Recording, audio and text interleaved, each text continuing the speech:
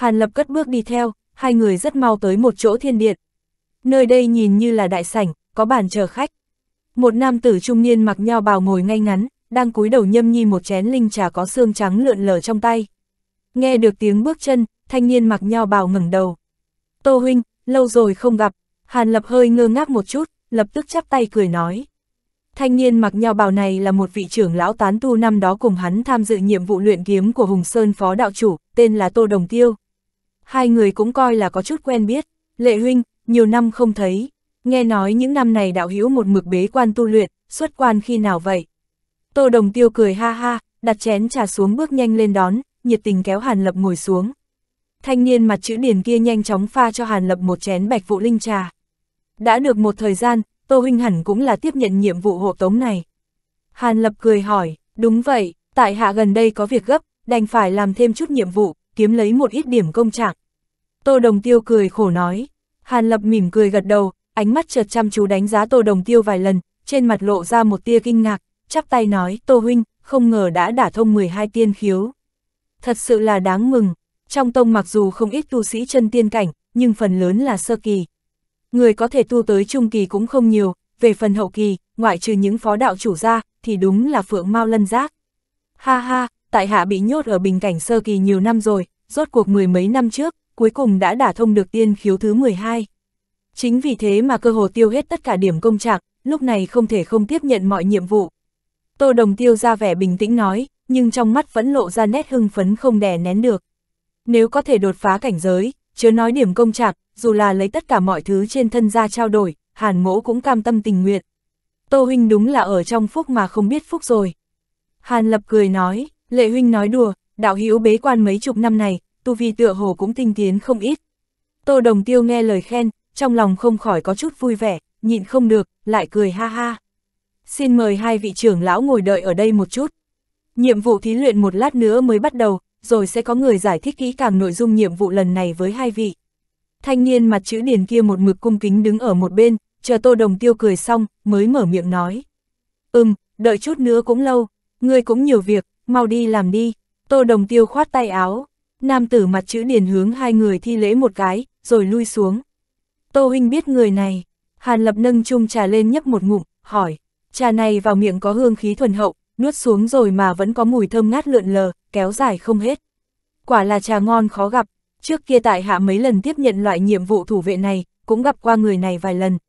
Tô Đồng Tiêu nói, a vậy tại hạ cần phải thường xuyên nhờ Tô Huynh chỉ giáo. Nhiệm vụ này nhìn như không có gì, nhưng lệ mỗ vẫn cảm thấy không đơn giản. Hàn Lập đặt chén trà xuống, hỏi thử, quả nhiên tâm tư lệ huynh cẩn thận, nhiệm vụ này xác thực không đơn giản như bề ngoài vậy. Ngươi nhìn những đệ tử nội môn trên chủ điện kia, Tô Đồng Tiêu bấm tay, một tia lam quang bắn vào một bên vách tường thiền điện. Trên vách tường lập tức hiện ra một tầng lam quang dịu dịu, rồi dần dần trở nên trong suốt. Bên trên vách tường khác chính là chủ điện, từ nơi này có thể thấy rõ tình huống đối diện. Kỳ lạ là đám người trên chủ điện tựa hồ không chú ý chút nào tới biến hóa của vách tường. Tô huynh, chiêu này là khu thủy thấu ảnh thuật, thật tinh diệu, bội phục. Hàn lập khẽ nheo mày, khen một câu, chút tài mọn mà thôi, không đáng giá nhắc tới. Tô đồng tiêu cười đắc ý, Hàn lập nhìn về phía đệ tử nội môn trên chủ điện. Những người này cơ bản đều là thiếu niên, cả nam và nữ, khi khái hào hùng, hiển nhiên căn cốt tư chất đều là thượng giai, tu vi đều đạt đến luyện hư kỳ. Mặc dù tuổi tác tu sĩ không thể chỉ phán đoán bằng vẻ bề ngoài, nhưng ánh mắt hắn cỡ nào, một chút liền nhìn ra tuổi tác của những người trên đại điện đều không lớn, chỉ sợ chưa tới một ngàn năm. Bằng chừng ấy tuổi đã có thể tu luyện tới luyện hư kỳ, cho dù là tại Bắc Hàn tiên vực này, cũng là cực kỳ khó.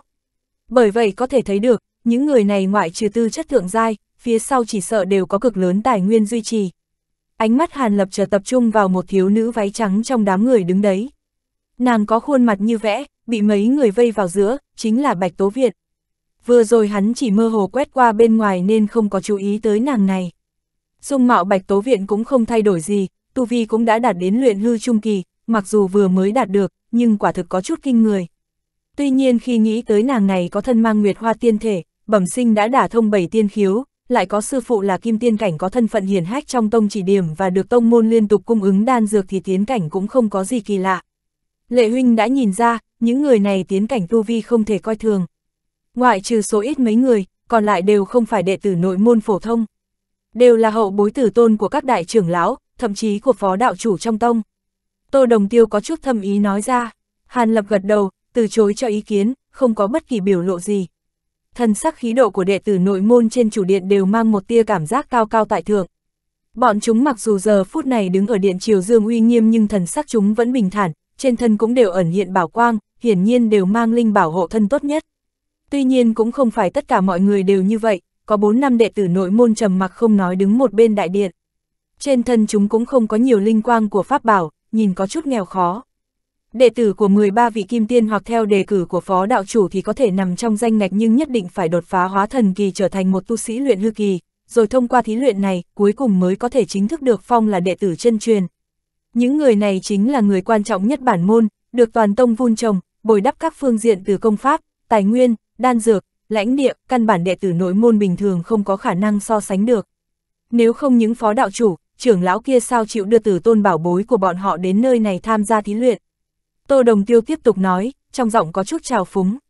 Ý Tô Huynh là, Hàn Lập nhìn Tô Đồng Tiêu một chút, ha ha, những người này mặc dù có tư chất tốt nhưng từ lúc sinh ra đến nay chỉ là qua mấy trăm năm khổ tu, nên khuyết thiếu chính là chưa thực sự trải qua sinh tử, cho nên tông môn mới an bài thí luyện hôm nay. Tô Đồng Tiêu tựa hồ cảm thấy ngôn ngữ của mình có hơi quá, lập tức ngữ khí trở nên hòa hoãn lại. Hàn Lập yên lặng gật đầu, ánh mắt nhìn Bạch Tố Viện, lóe lên một tia nghi hoặc. Lệ huynh chắc là nhận ra Bạch Tố Viện, Tô Đồng Tiêu chú ý tới ánh mắt Hàn Lập, hỏi. chương 225, lại thấy tôn khắc, xem như chỗ quen biết cũ vì ta và Bạch Tố Viện đồng thời bái nhập Trúc Long Đạo. Tuy nhiên, xem ra Tô Huynh cũng biết nàng này. Hàn Lập nhẹ gật đầu, hỏi ngược lại. Bạch Tố Viện tuy rằng thiên tư tuyệt đỉnh, nhưng vừa nhập môn đã được vị kim tiên đạo chủ họ Vân đột nhiên xuất hiện mang đi. Những năm sau đó, nàng tựa hồ ít xuất hiện trong tông, cũng không truyền ra động tĩnh gì, người biết nàng này không nhiều lắm mới đúng. Tô mỗ trước đây ít năm tiếp nhận một nhiệm vụ của Vân đạo chủ tuyên bố, vô tình thấy qua nàng một lần.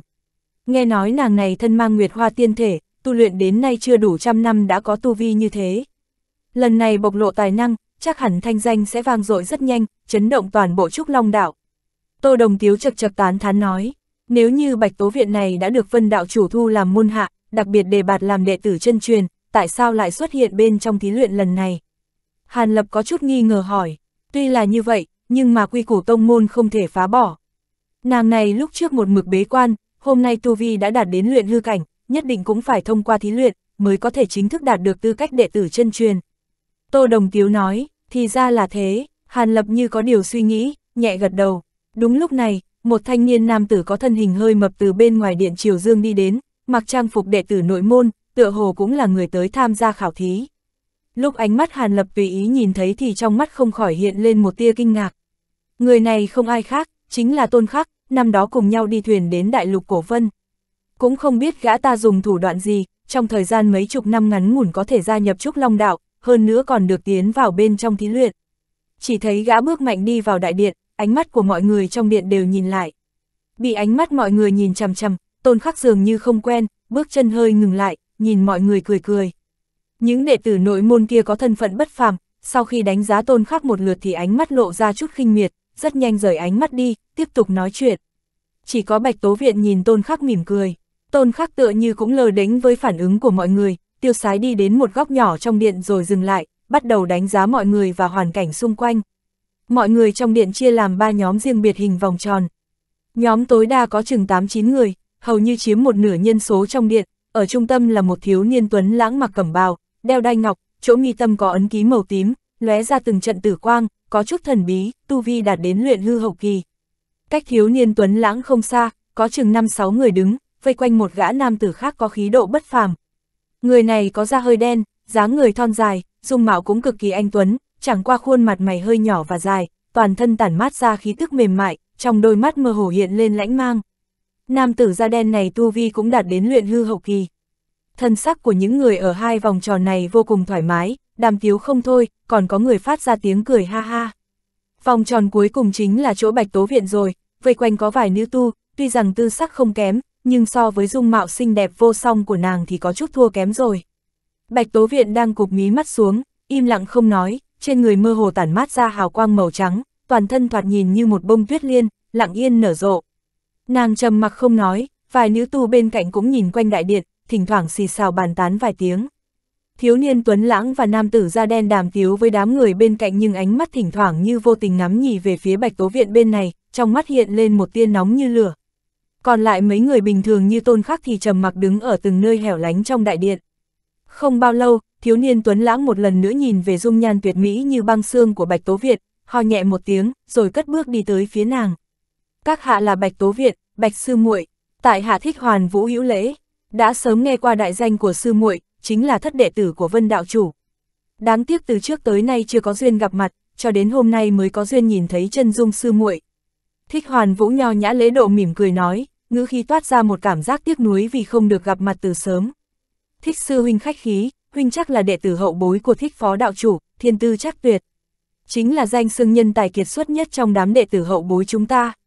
Tiểu muội cũng là sớm nghe, bạch tố viện chớp đôi mắt đẹp, hé miệng mỉm cười nói. Thích hoàn vũ nao nao, gã tuy rằng có thanh danh, nhưng chưa có ai gọi gã là nhân tài kiệt xuất nhất, chẳng lẽ chính gã không biết đã có cái danh này. Gã ta nhìn qua thiếu nữ khéo nở nụ cười tươi đẹp trước mặt, trong nội tâm không khỏi mừng thầm, không khách khí thừa nhận, cười nói, sư muội quá khen ngợi rồi, chút hư danh, không cần phải nói. Dùng thiên phú tuyệt đỉnh của sư muội, tin tưởng không bao lâu nữa là có thể vượt qua ta. Hừ, nhân tài kiệt xuất xuất nhất, thích hoàn vũ người có danh xương này lúc nào, đường mẫu cũng chưa nghe người ta nói qua, chẳng lẽ là tự phong. Một tiếng hừ lạnh từ bên cạnh truyền đến, là nam tử da đen đi tới, trên mặt cười lạnh. Sắc mặt thích hoàn vũ lạnh lẽo, liếc nam tử da đen một cái, rồi chậm rãi nói với Bạch Tố Việt, Bạch Sư muội chỉ sợ còn không nhận ra được tên này. Vị này cũng là một thành viên trong đệ tử nội môn chúng ta, tên là Đường Xuyên. Ngươi, nam tử da đen nghe vậy sắc mặt trầm xuống. Đường sư huynh chính là con trai độc nhất của trưởng lão Thiên Đan Điện, Đường Kính Minh, chuyên tu luyện U Du Huyền Công là số một trong nội môn. Tiểu muội sao có thể không biết, nếu có cơ duyên, kính mong Đường sư huynh chỉ điểm một chút. Sóng mắt Bạch Tố Viện như nước nhìn về phía Đường Xuyên, khóe miệng hơi nhếch lên, vẻ quyến rũ rung động lòng người lan ra.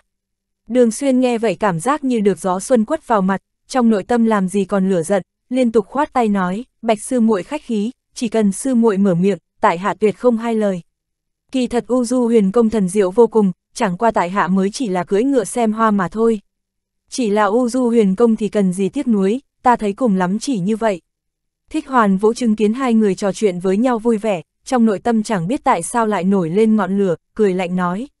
Cái gì, ngươi dám xem thường U Du huyền công? Được, đường mỗ hôm nay sẽ cho ngươi mở mang kiến thức một chút. Đường xuyên lập tức giận dữ, trên người sáng lên hắc quang, từng làn xương đen hiện ra. Thích hoàn vũ không sợ chút nào, ấn ký chỗ nghi tâm lại hiện ra hào quang màu tím. Mọi người bên cạnh hai gã này lúc này vội vàng trợn mắt nhìn, trong đại điện nhất thời xuất hiện cảm giác dương cung bạt kiếm. Bạch Tố Viện cười một tiếng, liên tục bước lùi nhẹ về sau, để một khu vực trống cho hai gã. Láo sược, nơi này là điện Triều Dương, các người tới nơi này tham gia khảo hạch, hay là đến tranh phong đấu khí đấy. Trong đại điện đột nhiên vang lên một thanh âm uy nghiêm. Một luồng uy áp vô hình lập tức bao phủ cả tòa đại điện, làm cho tất cả mọi người của nhóm thích hoàn vũ và đường xuyên ở bên trong đều cảm thấy khí thức hơi chậm lại, hầu như không cách nào nhúc nhích mảy may. Bạch Tố Viện đứng cách hai nhóm này không xa, cũng nổi lên một tia ửng hồng trên mặt. Luồng uy áp này trôi qua tức thì, sau một khắc, tất cả mọi người liền cảm thấy mọi hành động khôi phục như bình thường. Không khí dương cung bạt kiếm căng thẳng lúc đầu sau khi bị uy áp quét qua liền biến thành hư ảo. Bạch quang lóe lên, thân ảnh phương vũ, là thanh niên mặt chữ điển xuất hiện giữa không trung. Một thân khí tức đại thừa kỳ của y không hề che giấu phóng thích ra, dẫn tới không khí phụ cận ông ông run rẩy. Ánh mắt của y quét qua thân hình thích hoàn vũ và đường xuyên, cuối cùng hình như có thâm ý nhìn bạch tố viện một cái, rồi thu trở về. Thích hoàn vũ và đường xuyên thấy vậy, nhìn nhau hầm hầm, hừ lạnh một tiếng, quay đầu tránh đi. Bạch tố viện lúc này cũng cúi đầu một chút, lùi về phía sau. Tốt rồi, hiện tại nếu như người đã đến đông đủ, lần thí luyện này sẽ bắt đầu. Trước hết, ta tuyên bố nội dung thí luyện lần này một lượt. Nhớ kỹ, ta chỉ nói một lần về sự tình liên quan đến nhiệm vụ thành bại và sinh tử các ngươi, cần phải nghe kỹ cho ta. Phương Vũ cũng không truy cứu chuyện vừa rồi, hắn giọng tuyên bố luôn. Đám người tôn khắc đứng ở trong góc đại điện giờ phút này cũng vội vàng đi tới, chăm chú lắng nghe. Địa điểm thí luyện của các ngươi lần này chính là dãy núi huyền băng, ta sẽ mang bọn ngươi đến bên ngoài dãy núi. Các ngươi cần xâm nhập vào trong, đánh chết một con gấu tuyết tông huyền có tu vi hợp thể kỳ, coi như hoàn thành thí luyện. Khi đó, các ngươi có thể tìm người liên thủ, hoặc cũng có thể một mình đánh chết. Cùng lúc đó, bên trong thiên điện, Hàn Lập nhìn qua hết thảy sự việc phát sinh trong chủ điện, trong nội tâm bất giác có chút tức cười. Những năm này không gặp, ngược lại Bạch Tố Viện một điểm cũng không thay đổi, vẫn cổ quái tinh nghịch như vậy. Lại nói tiếp, nàng này tựa hồ bắt đầu tu luyện công pháp của vân đạo chủ kia, chỉ một cái nhân mày, một nụ cười cũng toát ra mỹ thuật rất cao minh, làm cho hai gã cùng dai không hề hay biết rơi vào trong đó. Nghĩ đến thần thức khổng lồ của chính mình mà hồi xưa cũng thiếu chút nữa mà vô ý rơi vào mị hoặc của vân đạo chủ kia. Hai tên thanh niên con cưng của ông trời kia chưa có bao nhiêu lịch duyệt thế sự, đương nhiên không cách nào may mắn thoát khỏi rồi.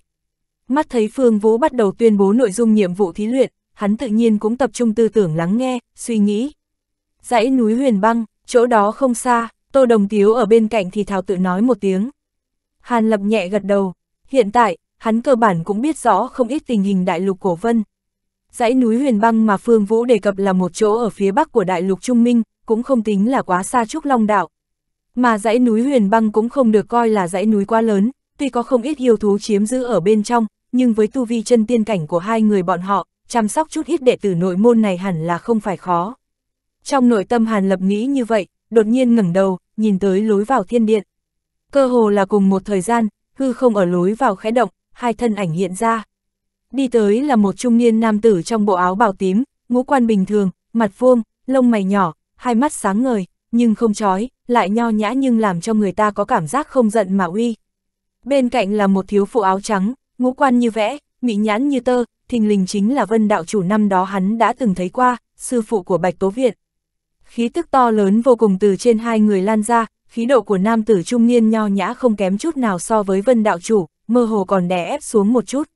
Âu Dương đạo chủ, vân đạo chủ, tô đồng tiếu vội vàng đứng lên, chắp tay thi lễ. Hàn Lập nghe vậy trong nội tâm thất kinh, cũng đứng dậy, rồi thi lễ. Hai người các ngươi, chính là ám vệ của lần thí luyện này hả? Nam tử áo bào tím chậm rãi mở miệng hỏi. Đúng vậy, Hàn Lập và Tô Đồng Tiếu cùng đáp. Về nội dung thí luyện, các ngươi hẳn là cũng đã biết rồi. Bên trong lần thí luyện này, nhiệm vụ hai người các ngươi chính là phòng ngừa chuyện phát sinh ngoài ý muốn. Nếu là nguy hiểm bình thường, thì cứ để cho những đệ tử kia tự vượt qua bằng năng lực của mình. Nếu năng lực bọn chúng chưa đủ, chết ở bên trong thí luyện cũng không sao. Đệ tử bất tài thì chết ở bên ngoài, không bằng chết ở trong tông. Nam tử áo bào tím không nhanh không chậm nói, trong giọng nói mang theo vẻ chân thật đáng tin, thậm chí còn có ý khắc nghiệt. Khởi bẩm Âu Dương đạo chủ, theo như lời ngài vừa mới nói, nguy hiểm bình thường là như thế nào, có thể nói rõ hơn một chút hay không? Chúng ta xin nghe theo. Tô Đồng Tiếu hơi trần chờ hỏi, chương 226 tiên tục, tiêu chuẩn cụ thể thế nào thì hai người các ngươi tự động phán đoán. Chỉ cần các ngươi cho rằng bọn chúng có thể ứng phó được thì không cần ra tay. Các ngươi cũng không cần cố kỵ điều gì, đệ tử chân truyền thí luyện vốn phải nguy hiểm tính mạng, nên cũng không có người dám trách cứ các ngươi. Các ngươi mặc dù là hộ vệ, kỳ thật cũng là giám khảo, phải công bằng công chính. Rõ chưa, nam tử áo tím lạnh nhạt nói. Vâng, hai người Tô Đồng Tiếu và Hàn Lập vội vàng cúi đầu lên tiếng. Nam tử áo tím ừ một tiếng, sau đó nhìn thiếu phụ áo trắng bên cạnh một cái. Trong lúc nam tử nhìn sang, thiếu phụ cũng không nhượng bộ chút nào liếc lại một cái. Nam tử áo tím cũng không nói thêm gì, quay người biến thành độn quang, vội vã bay đi. Thiếu phụ áo trắng lúc này mới xoay chuyển ánh mắt nhìn hai người Hàn Lập một cái, cuối cùng ánh mắt thoáng dừng trên thân Hàn Lập, nhưng sau một khắc thân hình cũng vòng một cái bay xa. Ngay lúc thiếu phụ quay người nháy mắt, trong mắt Hàn Lập hiện lên một tia dị sắc, trong chớp mắt liền khôi phục như thường. Đưa mắt nhìn thân hình hai người kia biến mất ở phía chân trời, hai người Hàn Lập mới ngẩng đầu, liếc mắt nhìn nhau. Tô huynh, vị Âu Dương đạo chủ vừa rồi kia chẳng lẽ chính là đạo chủ xếp hạng 9 Âu Dương Khuê Sơn? Hàn Lập hỏi, đúng vậy, 13 kim tiên đạo chủ trong tông thay phiên chấp trưởng môn phái một lần mỗi lần 10 vạn năm. Hiện tại chấp trưởng tông môn chính là Âu Dương đạo chủ. Chẳng qua là không nghĩ tới, Vân đạo chủ lại đi cùng, cũng không nói một lời, tiêu sái đi rồi. Xem ra hẳn là lo lắng cho vị đồ nhi bảo bối kia của người. Tô Đồng Tiếu gật đầu nói, bọn chúng chuẩn bị xuất phát rồi, chúng ta cũng chuẩn bị khởi hành. Thần thức hàn lập khẽ động, nhìn về hướng chủ điện một chút, rồi nói. Bên trong chủ điện, những đệ tử nội môn đã xuất phát, đi theo Phương Vũ ra ngoài điện. Ha ha, Lệ Huynh không cần sốt ruột, chờ bọn chúng đi xa một chút, chúng ta cứ từ từ bắt kịp cũng được.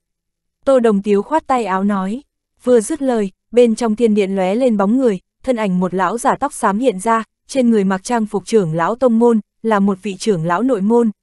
Lão giả tóc xám nhìn hai người một cái, ánh mắt rất nhanh rời khỏi Hàn Lập mà nhìn vào Tô Đồng Tiếu, cười lớn đi tới. Ha ha, Tô trưởng lão, ta và ngươi thật sự là nhiều năm không gặp. Vương trưởng lão, thật sự là hạnh ngộ, Tô Đồng Tiếu cười ha ha một tiếng, cũng nghênh đón.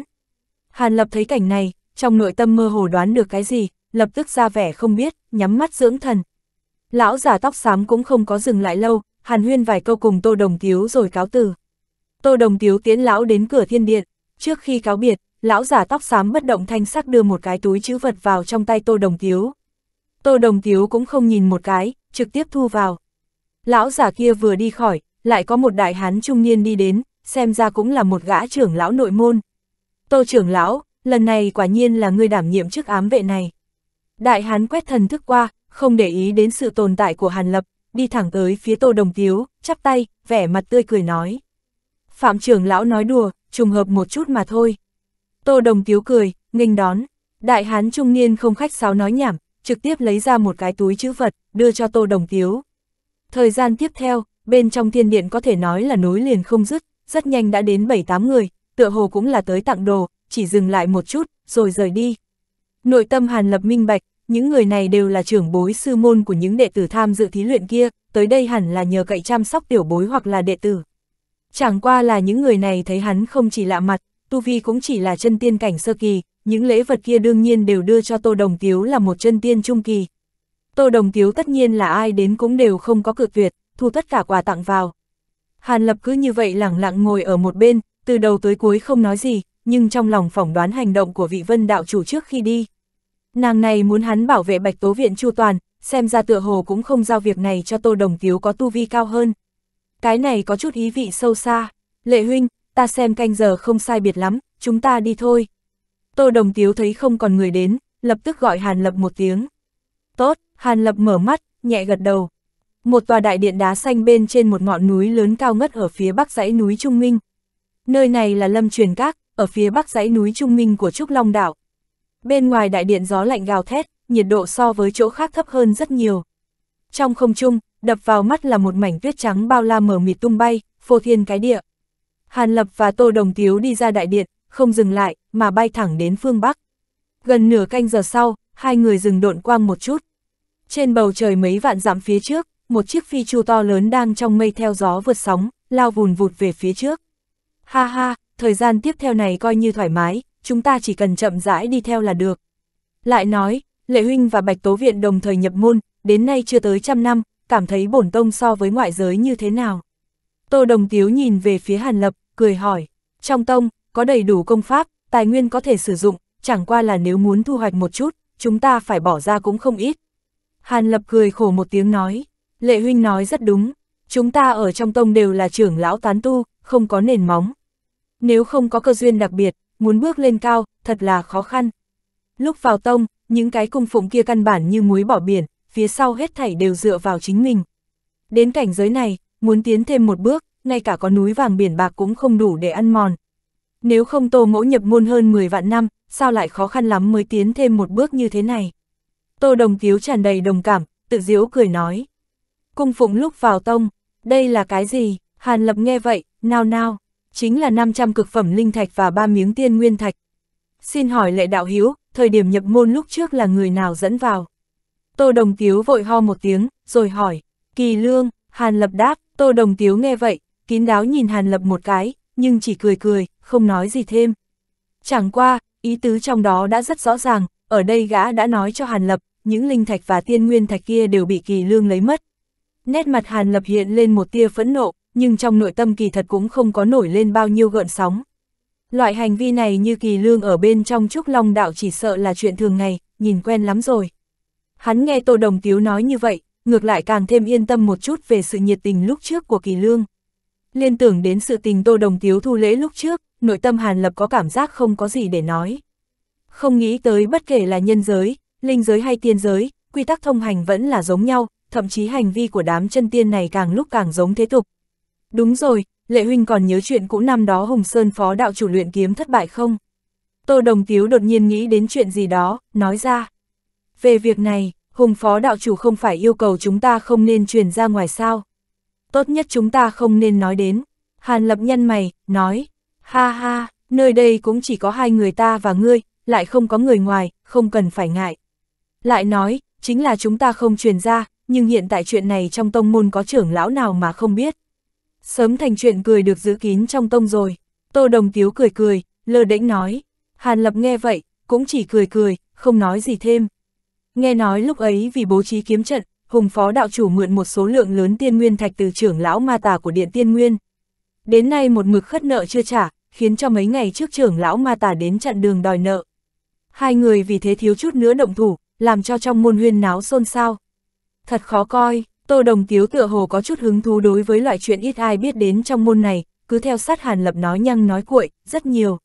Hàn Lập vốn không có hứng thú với chuyện này, nhưng một đường bình an vô sự, đành tỏ vẻ có quan tâm. Dù sao hắn vào tông trong thời gian ngắn ngủi, cũng không muốn trong lúc vô tình bị cuốn vào tranh chấp bên trong. Trong khoảng thời gian ngắn, hai người như hảo hữu nhiều năm không gặp, trò chuyện không ngừng. Khi phi chu khổng lồ phía trước càng ngày càng tiến đến phía bắc, nhiệt độ cũng càng ngày càng rét lạnh. Trên đường còn gặp mấy lần mưa tuyết, khiến cho kẻ một mực bế quan tu luyện đã lâu như Hàn Lập được thưởng thức một lần cảnh tuyết núi rừng. Nháy mắt hơn nửa tháng trôi qua, Phi Chu trở đầy đám con cưng nội môn Bạch Tố Việt, rút cuộc cũng dừng lại tại một dãy núi cực lớn ở phía bắc dãy núi Trung Minh.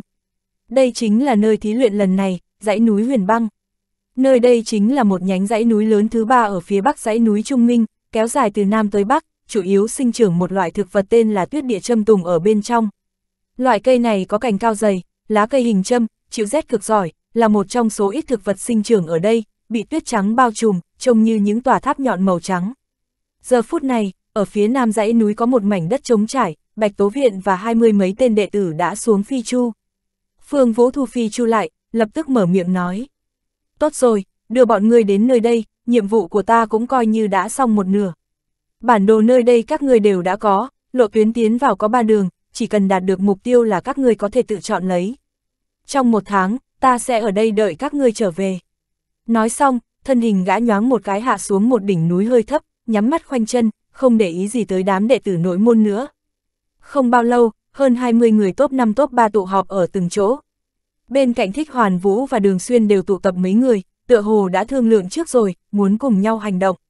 Tại Điện Triều Dương, đám nữ tu vốn đứng cùng Bạch Tố Viện thì lúc này đã phân biệt gia nhập vào đội ngũ hai người kia, hiển nhiên lúc trước trên đường, từng người đã có quyết định chọn bên nào.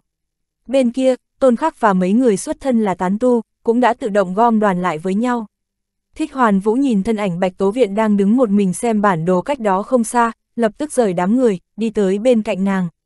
Bạch sư muội, ta và mấy vị sư huynh đệ đã chọn tuyến đường tuyết đà lĩnh này. Tuy rằng tương đối nguy hiểm nhưng mà khoảng cách tới chỗ gấu tuyết qua lại thì là gần nhất. Mà ven đường hẳn là có thể thu thêm không ít lợi ích. Hay là sư muội đi cùng chúng ta, cũng có thể chiếu cố lẫn nhau.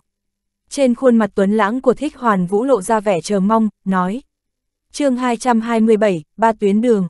Tiểu muội cũng có cân nhắc qua tuyến đường tuyết đà lĩnh này, dù ngắn hơn nhưng tỷ lệ gặp phải yêu thú cường đại trên đường lại nhiều hơn so với các con đường khác mấy lần. Quả thực có chút nguy hiểm, Bạch Tố Viện cao đôi mi thanh tú lại, lộ vẻ hơi e sợ. Việc này Bạch sư muội cứ yên tâm, có thích mô ở đây, tuyệt đối sẽ không để sư muội nhận nửa điểm tổn thương. Sau khi nghe xong, thích hoàn vũ vội vàng vỗ vỗ ngực, quả quyết nói. Thích đại thiếu gia mạnh miệng như vậy không sợ gió tuyết lớn làm đau đầu lưỡi nhỉ. Chỉ bằng ngươi cũng dám nói có thể bảo hộ bạch sư muội chu toàn. Không chờ bạch tố viện nói, đường xuyên cũng đi tới, mặt lộ vẻ khinh thường nói. Đường sư huynh chớ có nói như vậy, thích sư huynh cũng là có ý tốt. Bạch tố viện thấy thế, liền cười nói, giải thích thay cho thích hoàn vũ. Tên họ thích nghe lời nói ấy, trong lòng lập tức ấm áp, nhìn sang đường xuyên lạnh giọng trách mắng, ta mời bạch sư muội cùng đi, có chuyện gì liên quan tới ngươi. Sang bên kia hóng gió đi, bạch sư muội ta cùng bọn trần sư đệ dự định đi tuyến đường qua bạch hồ sơn cốc, ít lợi không bằng so với tuyết đà lính, nhưng sẽ ít nguy hiểm hơn. Dù sao mục đích cuối cùng của chúng ta vẫn là con gấu tuyết kia. Không bằng sư muội hãy đồng hành cùng chúng ta. Đường xuyên không để ý đến thích hoàn vũ, nói với Bạch Tố Viện. Bạch Tố Viện thấy thế, hai tay trước người đan vào nhau, ra vẻ rất do dự. Thích hoàn vũ và đường xuyên thấy vậy, còn định há miệng nói gì đó thì nàng lại đột nhiên mở miệng nói. Ta sẽ đi cùng nhóm của tôn khắc sư huynh theo tuyến đường tùng quả lính. Thích hoàn vũ và đường xuyên sau khi nghe xong đều khẽ giật mình. Ngay cả mấy người nhóm tôn khắc vốn đã bắt đầu đi về hướng tùng quả lính cũng không khỏi cứng lại, dừng bước, đứng nguyên tại chỗ. Tinh thần của mấy tên tán tu cùng đi với tôn khắc nhau nhau chấn động. Nữ tu tham gia thí luyện lần này vốn không nhiều, mà từ thời điểm ở trên phi thuyền, tuyệt đại đa số bọn họ đã quyết định gia nhập vào đội của Thích Hoàn Vũ hoặc Đường Xuyên. Bây giờ có thể có Bạch Tố Viện xinh đẹp nhất đi cùng, tự nhiên có thể nói là bọn chúng vui như lên trời. Duy chỉ có tôn khác là khóe miệng y hiện lên một nụ cười khổ. Y chỉ muốn yên yên ổn ổn hoàn thành lần thí luyện này, không muốn cuốn vào trong gút mắc giữa những người khác một chút nào. Nhưng Bạch Tố Viện đã gọi tên y thì y cũng không thể cứ như vậy hoàn toàn không quan tâm, đành xoay người nhìn sang hướng bên này. Chỉ là giờ phút này, ánh mắt thích hoàn vũ và đường xuyên nhìn về phía y đã bắt đầu tóe lửa. Hai gã này gần như đồng thời trong lòng tính toán, có nên thay đổi lộ trình hay không, để đi cùng một đường với Bạch Tố Viện. Đúng lúc này, lại nghe Bạch Tố Viện nói, tiểu muội bản lĩnh thấp, không so được với hai vị sư huynh có đạo pháp cao cường, cho nên tốt nhất vẫn là lựa chọn tuyến đường đi ổn thỏa, an toàn nhất. Hai vị sư huynh đều là những người nổi bật trong chúng ta, tiểu muội trong lòng không khỏi kính ngưỡng, mặc dù không thể đồng hành, nhưng cũng từ đáy lòng muốn cổ vũ cho các huynh.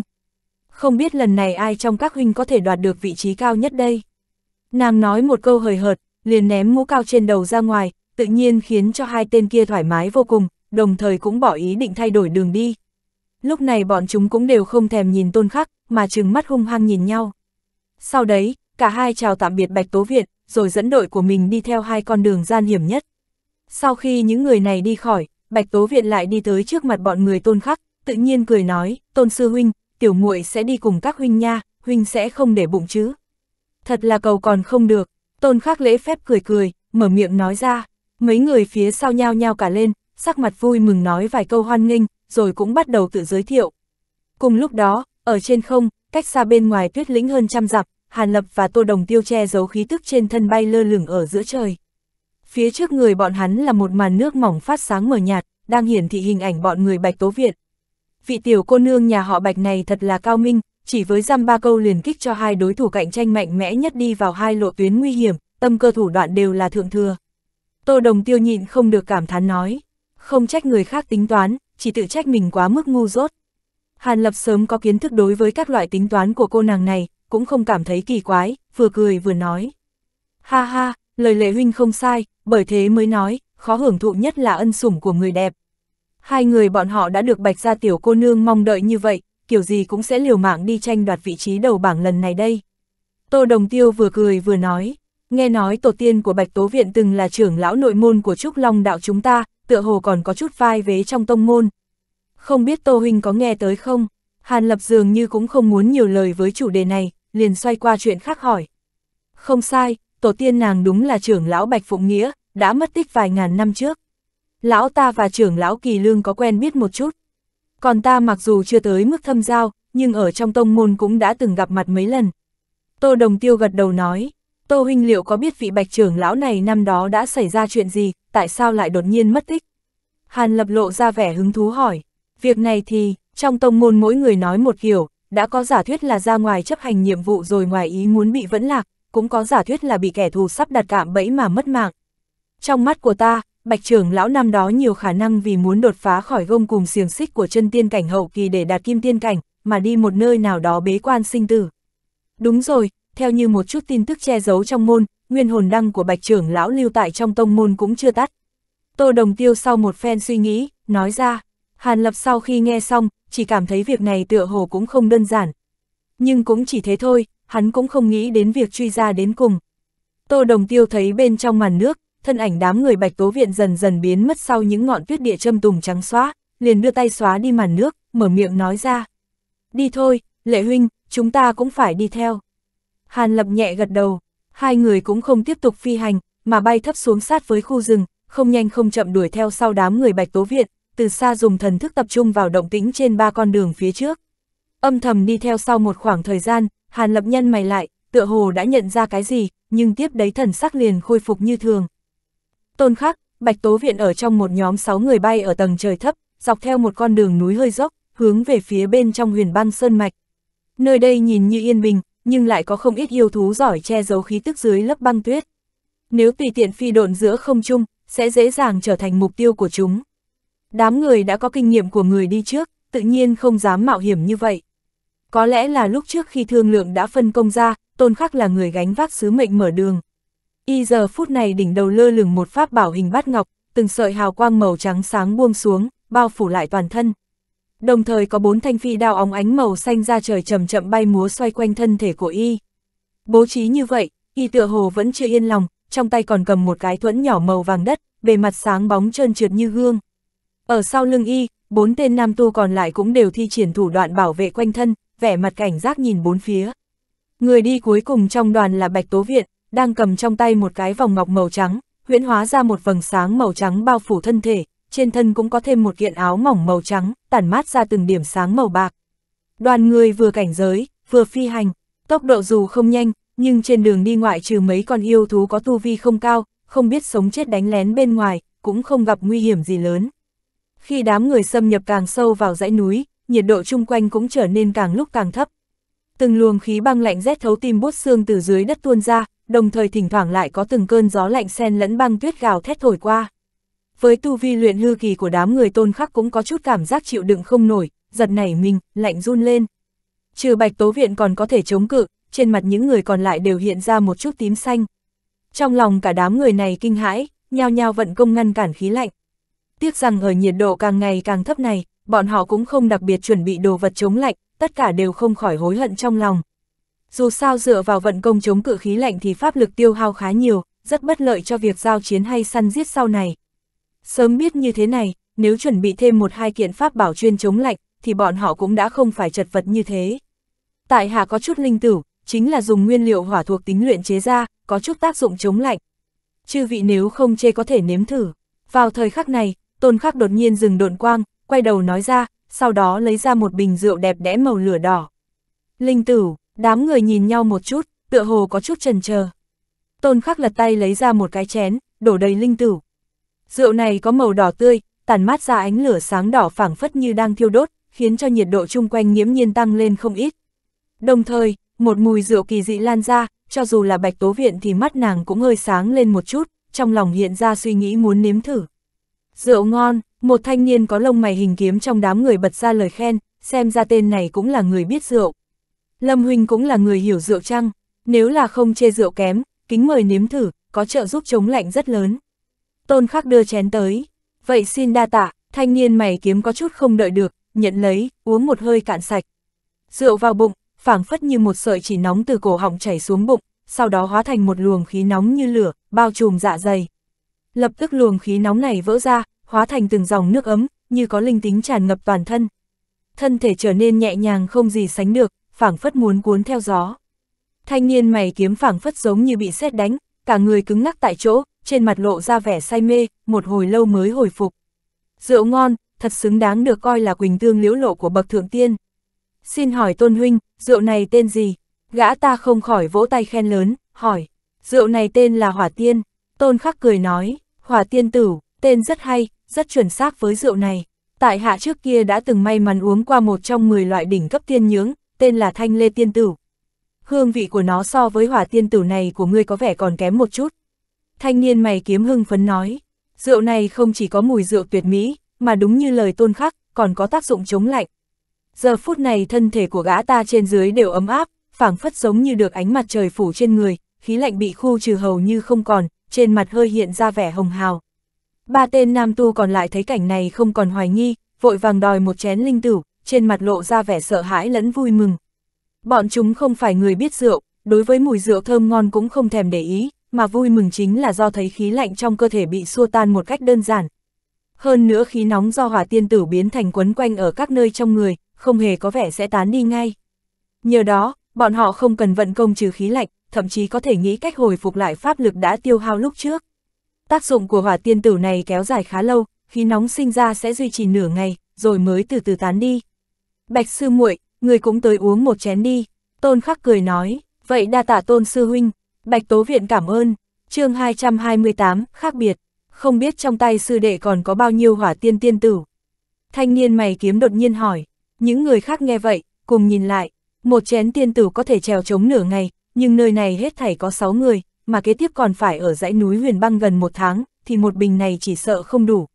Chư vị yên tâm, còn có vài hũ, đủ để vượt qua lần thí luyện này.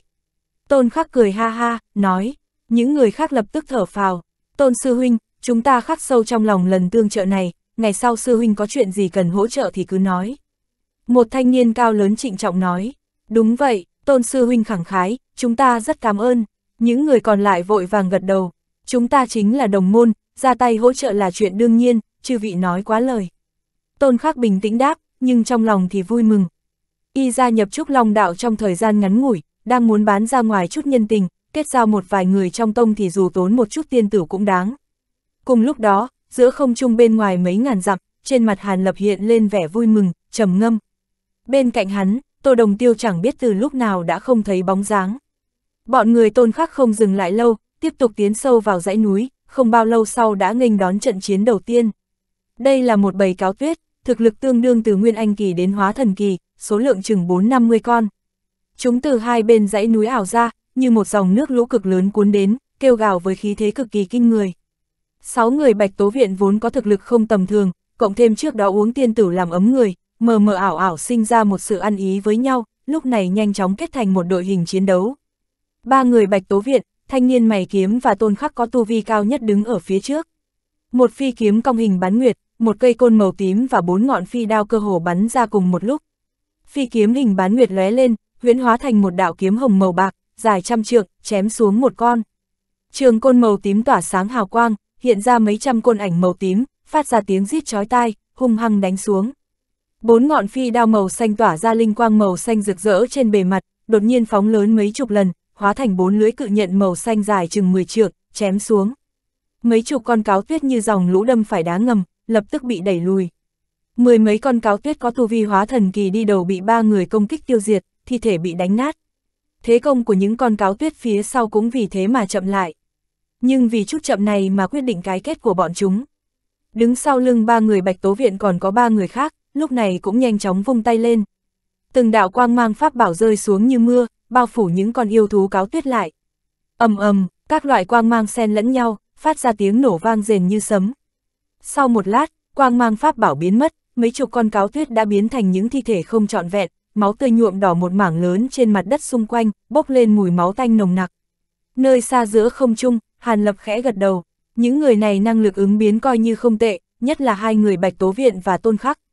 Dù sao hai người này cũng từng trải qua một chút sinh tử ở ngoại giới, biết được sự tàn khốc của tu tiên giới, chung quy là không giống với những tiểu bối sinh trưởng trong tông. Trúc Long Đạo là đại tông ở Bắc Hàn Tiên Vực, do tiền nhân đặt nền móng vững chắc, có đầy đủ mọi thứ tài nguyên bảo vật, điều kiện tu luyện mà ngoại giới không cách nào tưởng tượng được, khiến cho những môn nhân đệ tử trực hệ có thể nhanh chóng tăng lên, nhưng các tệ nạn cũng theo đó xuất hiện.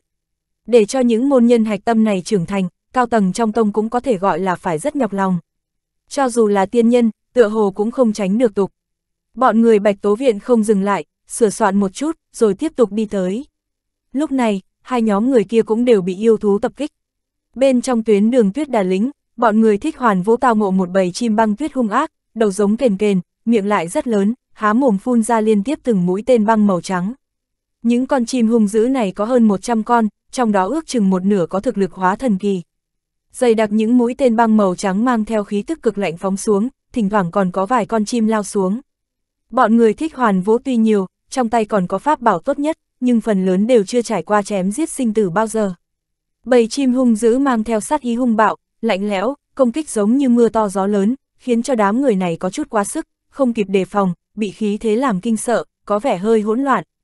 Tất cả mọi người đứng thành một vòng, quang mang các loại pháp bảo phòng ngự núi liền một chỗ, tạo thành một vòng bảo hộ hình bán cầu, ngăn cản từng lớp từng lớp công kích lao xuống. Đừng có hoảng hốt, chỉ là vài con yêu thú hóa thần kỳ mà thôi. Tất cả mọi người nghe theo lệnh của ta, một nửa tiếp tục trèo chống vòng phòng hộ, một nửa còn lại phản kích. Sắc mặt thích hoàn vũ hơi trắng bệch, trầm giọng quát. Những người này vốn coi gã là người cầm đầu, lúc này gã hét lớn một tiếng khiến những người khác ổn định lại tinh thần, lập tức theo lệnh của gã bắt đầu hành động. Từng đạo quang mang pháp bảo sáng tỏ bắt đầu phản kích, bắn vào bầy chim hung dữ màu trắng trên không. Mặc dù bởi vì khí thế bị áp chế, công kích của đám người này có vẻ hơi yếu vô lực nhưng dù sao tu vi cũng tranh lệch. Bầy chim trên không trung bắt đầu bị đánh rơi xuống. Sau một giờ đồng hồ, trận chiến cuối cùng cũng kết thúc.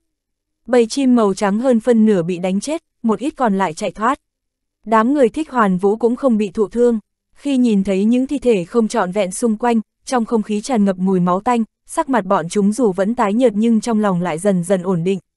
Chỉ là một đám yêu thú hóa thần kỳ đã dọa các ngươi thành dạng này, thật sự là mất mặt. Các ngươi cũng thấy, chỉ cần bình tĩnh nghênh chiến thì căn bản không phải sợ những con yêu thú này. Thích hoàn vũ quát lên như để tăng thêm sĩ khí, những người khác nghe vậy, vội vàng gật đầu, thích hoàn vũ đang định nói thêm, thì một người có vẻ từng trải ở bên cạnh tiến lên, nhắc nhở thích thiếu ra, mùi máu tươi ở nơi này quá nặng, tốt hơn là mau rời đi. Thích hoàn vũ khẽ giật mình, lập tức hiểu ra, mang theo đám người tiếp tục đi tới. Một chỗ ở giữa không trung rung động, một bóng người mơ hồ hiện ra. Chính là Tô Đồng Tiêu, y lắc đầu, thân hình thoát một cái biến mất tại chỗ. Tuyến đường Bạch Hồ Sơn Cốc cũng xảy ra tình huống không khác biệt lắm. Mấy người đường xuyên cũng chưa trải qua chém giết nhiều, lập tức trở nên luống cuống tay chân khi phải đối mặt với đám yêu thú cùng hung cực ác đột nhiên dũng mãnh tiến ra. Chẳng qua thực lực bọn người này hơn hẳn, trong tay lại có pháp bảo tốt nhất, chặn đợt tiến công của những con yêu thú kia lại, rồi chấn định tiếp chiến. Sau đó đánh tan chúng nên đám này cũng không xuất hiện thương vong gì. Chúng đệ tử theo ba tuyến đường tiếp tục đi tới. Trong nháy mắt 7, 8 ngày đã trôi qua, những người này dọc theo ba tuyến đường, dần dần xâm nhập sâu vào trong dãy núi huyền băng. Yêu thú gặp dọc đường có thực lực dần dần mạnh hơn, bắt đầu xuất hiện yêu thú có thực lực luyện hư kỳ. Trải qua mấy lần chém giết trước đó, năng lực thực chiến, ứng phó của bọn người thích hoàn vũ so với trước đó mặc dù tăng lên không ít, nhưng đối mặt với yêu thú đồng cấp, vẫn có vẻ sợ hãi.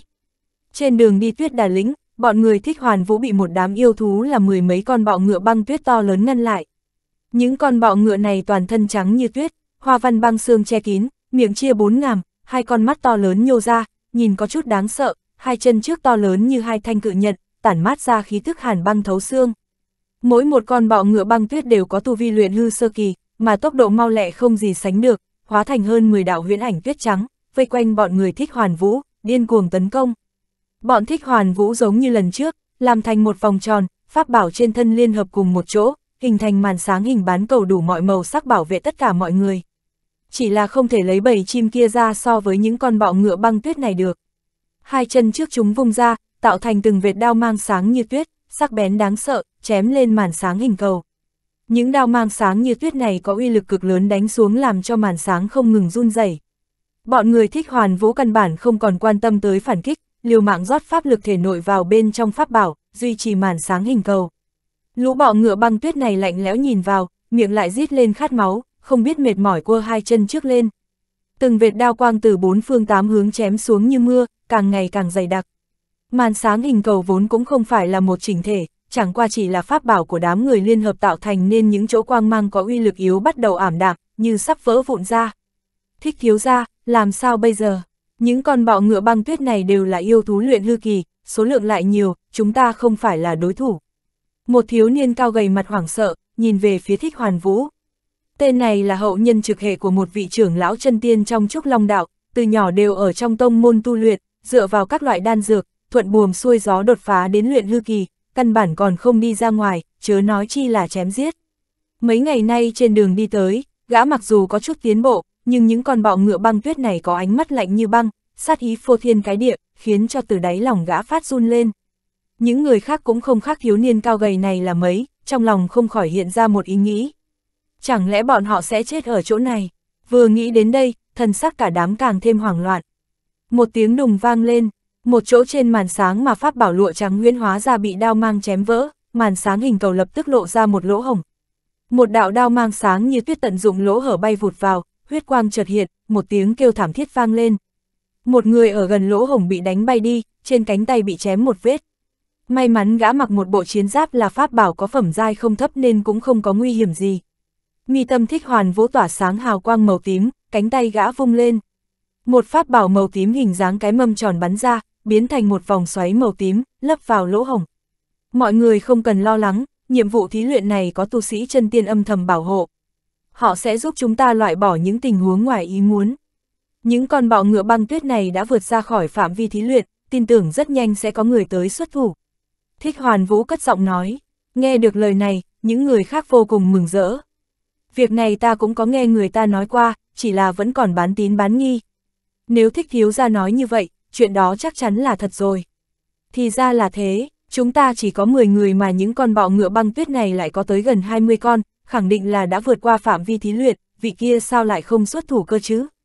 Trên trời cao, Tô Đồng tiêu hóa thành một hư ảnh mơ hồ, khóe miệng hơi nhích, lắc đầu thở dài một cái, rồi bấm tay.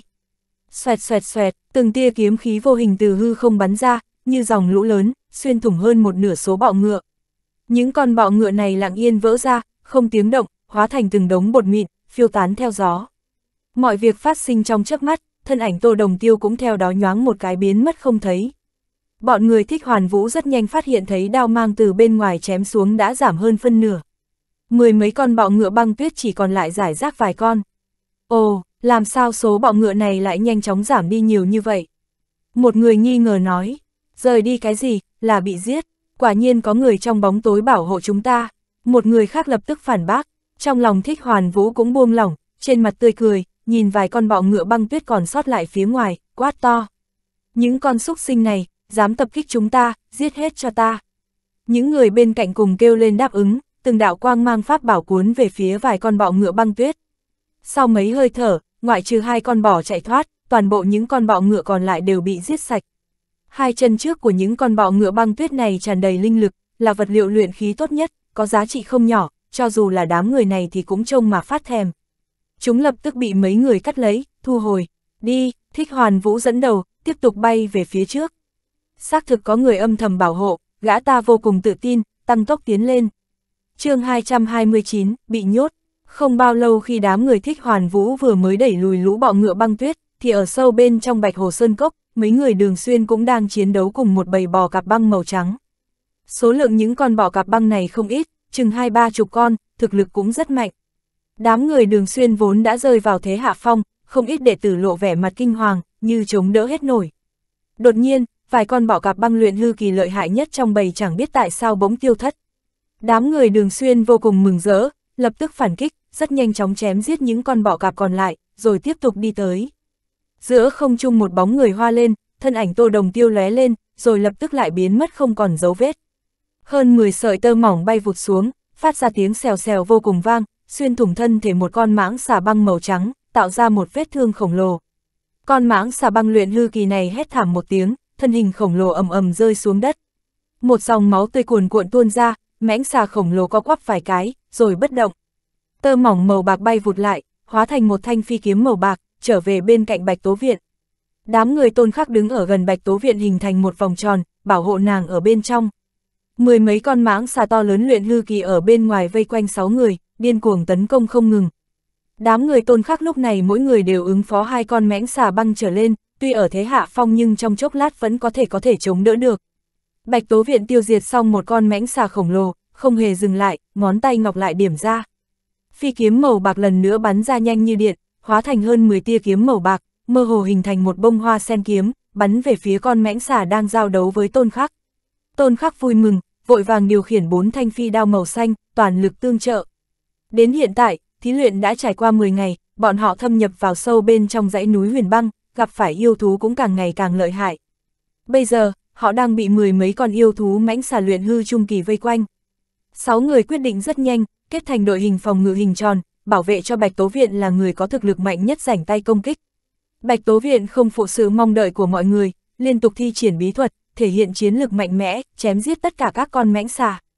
Thời gian từng giờ trôi qua, chiến cuộc bắt đầu nghiêng về phía 6 người. Hơn 10 tia kiếm xuyên thủng thân thể một con mãnh xà khổng lồ, mặc dù không trúng chỗ yếu hại nhưng cũng khiến cho nó ngừng động tác một chút. Vù vù, một côn ảnh to lớn màu vàng tím từ trên trời giáng xuống, đập mạnh vào đầu con mãnh xà. Đầu mãnh xà khổng lồ vỡ tung tóe, óc trắng lẫn máu văng khắp nơi. Khe khe, một con mãnh xà trắng phát ra tiếng huyết gió quái dị, xoay người chạy như bay về phía xa. Số mãnh xà còn sót lại lập tức đuổi theo, trong nháy mắt biến mất ở phía chân trời xa. Mấy người bạch tố viện cũng không đuổi theo.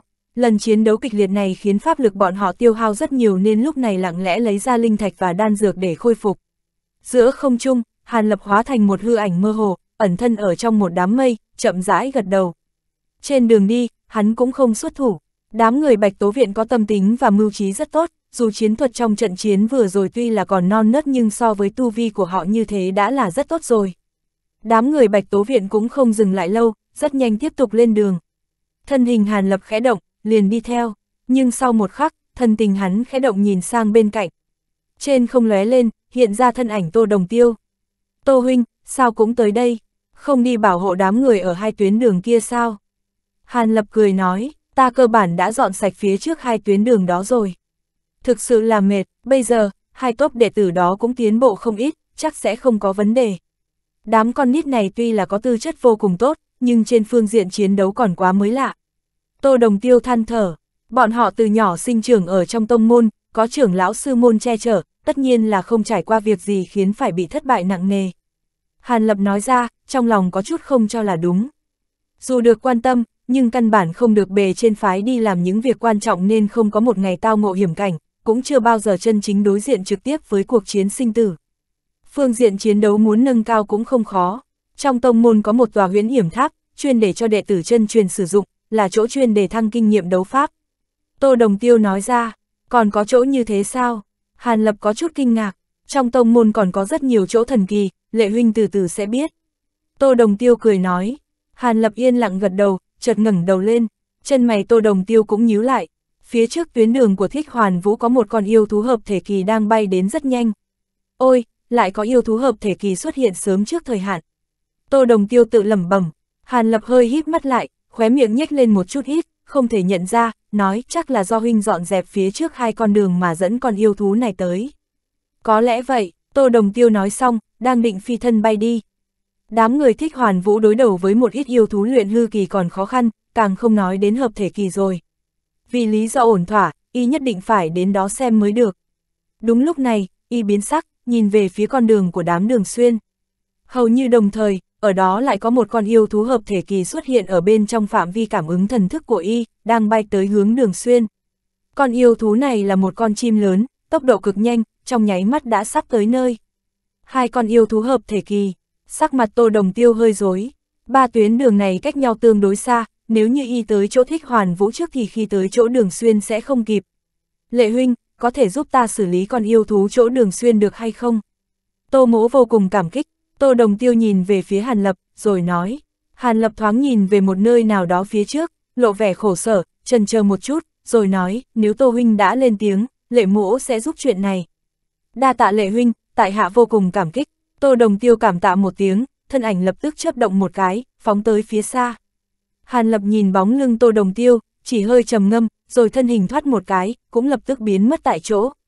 Nhóm 8 người đường xuyên đang bay về phía trước, căn cứ bản đồ thì cách mục tiêu không còn xa. Trên đường này, yêu thú đã giảm đi 7 phần, đương nhiên là bọn họ thuận lợi tiến về phía trước. Nguyên nhân yêu thú chợt trở nên thưa thất thì trong lòng đường xuyên rõ ràng nhất, nhất định là trưởng lão chân tiên âm thầm hộ vệ làm ra. Chẳng qua hiện nay không có gì cản trở thì việc đạt được thủ khoa là việc cấp bách gã ta muốn làm. Tốc độ nhanh hơn chút nữa đi, vừa nghĩ tới đây, đường xuyên quay đầu nhìn về mọi người phía sau, quát. Gã muốn dùng tốc độ nhanh nhất chạy tới chỗ gấu tuyết tông huyền, rồi đánh chết nó, khiến cho tất cả những người khác tham gia khảo hạch đệ tử chân truyền đều thất bại. Còn như việc 8 người bọn họ có thể đánh chết con gấu tuyết tông huyền này hay không thì gã ta tuyệt không lo lắng. Có trưởng lão chân tiên ở đây, tuyệt đối sẽ không để cho gã bị con gấu tuyết tông huyền đánh chết, đến lúc đó không phải người nọ sẽ ra tay sao.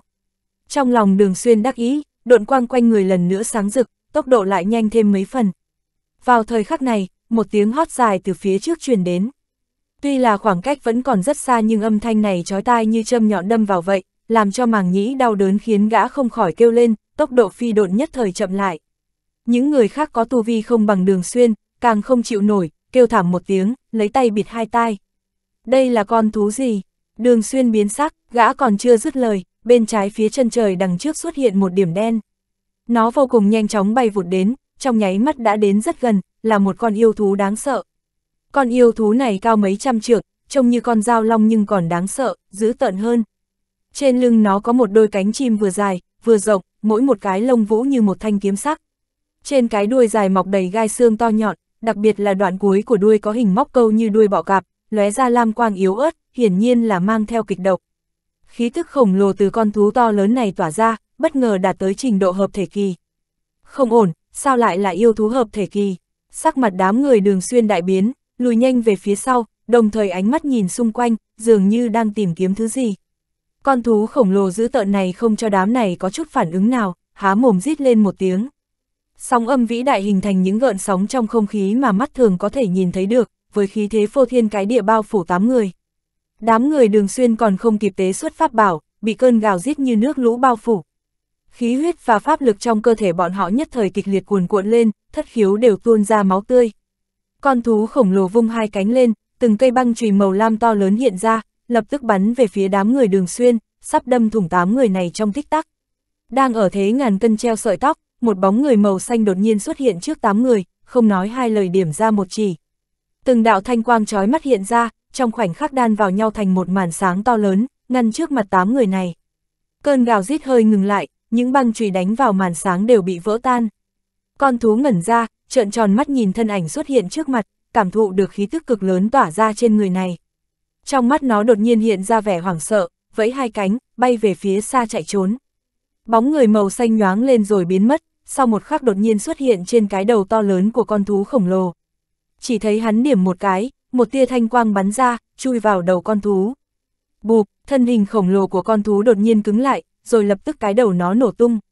Đúng lúc này, từng viên cầu màu đen từ trong đầu con thú bay ra, xuất hiện xung quanh bóng người màu xanh, hào quang màu đen bên ngoài không ngừng nhấp nháy. Bóng người màu xanh thấy vậy, đang định bay ra khỏi chỗ đó.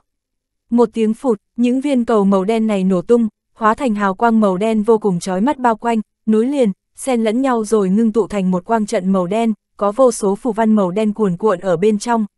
Pháp tác lực từ trong quang trận tỏa ra nhẹ nhẹ, không khí lân cận quang trận trở nên cứng rắn như thép, mơ hồ có thể thấy bóng người màu xanh bị vây khốn chặt ở bên trong. Điều gì vậy? Đám người đường xuyên thấy cảnh này thì cả đám đều trợn mắt há mồm, không biết đã xảy ra chuyện gì.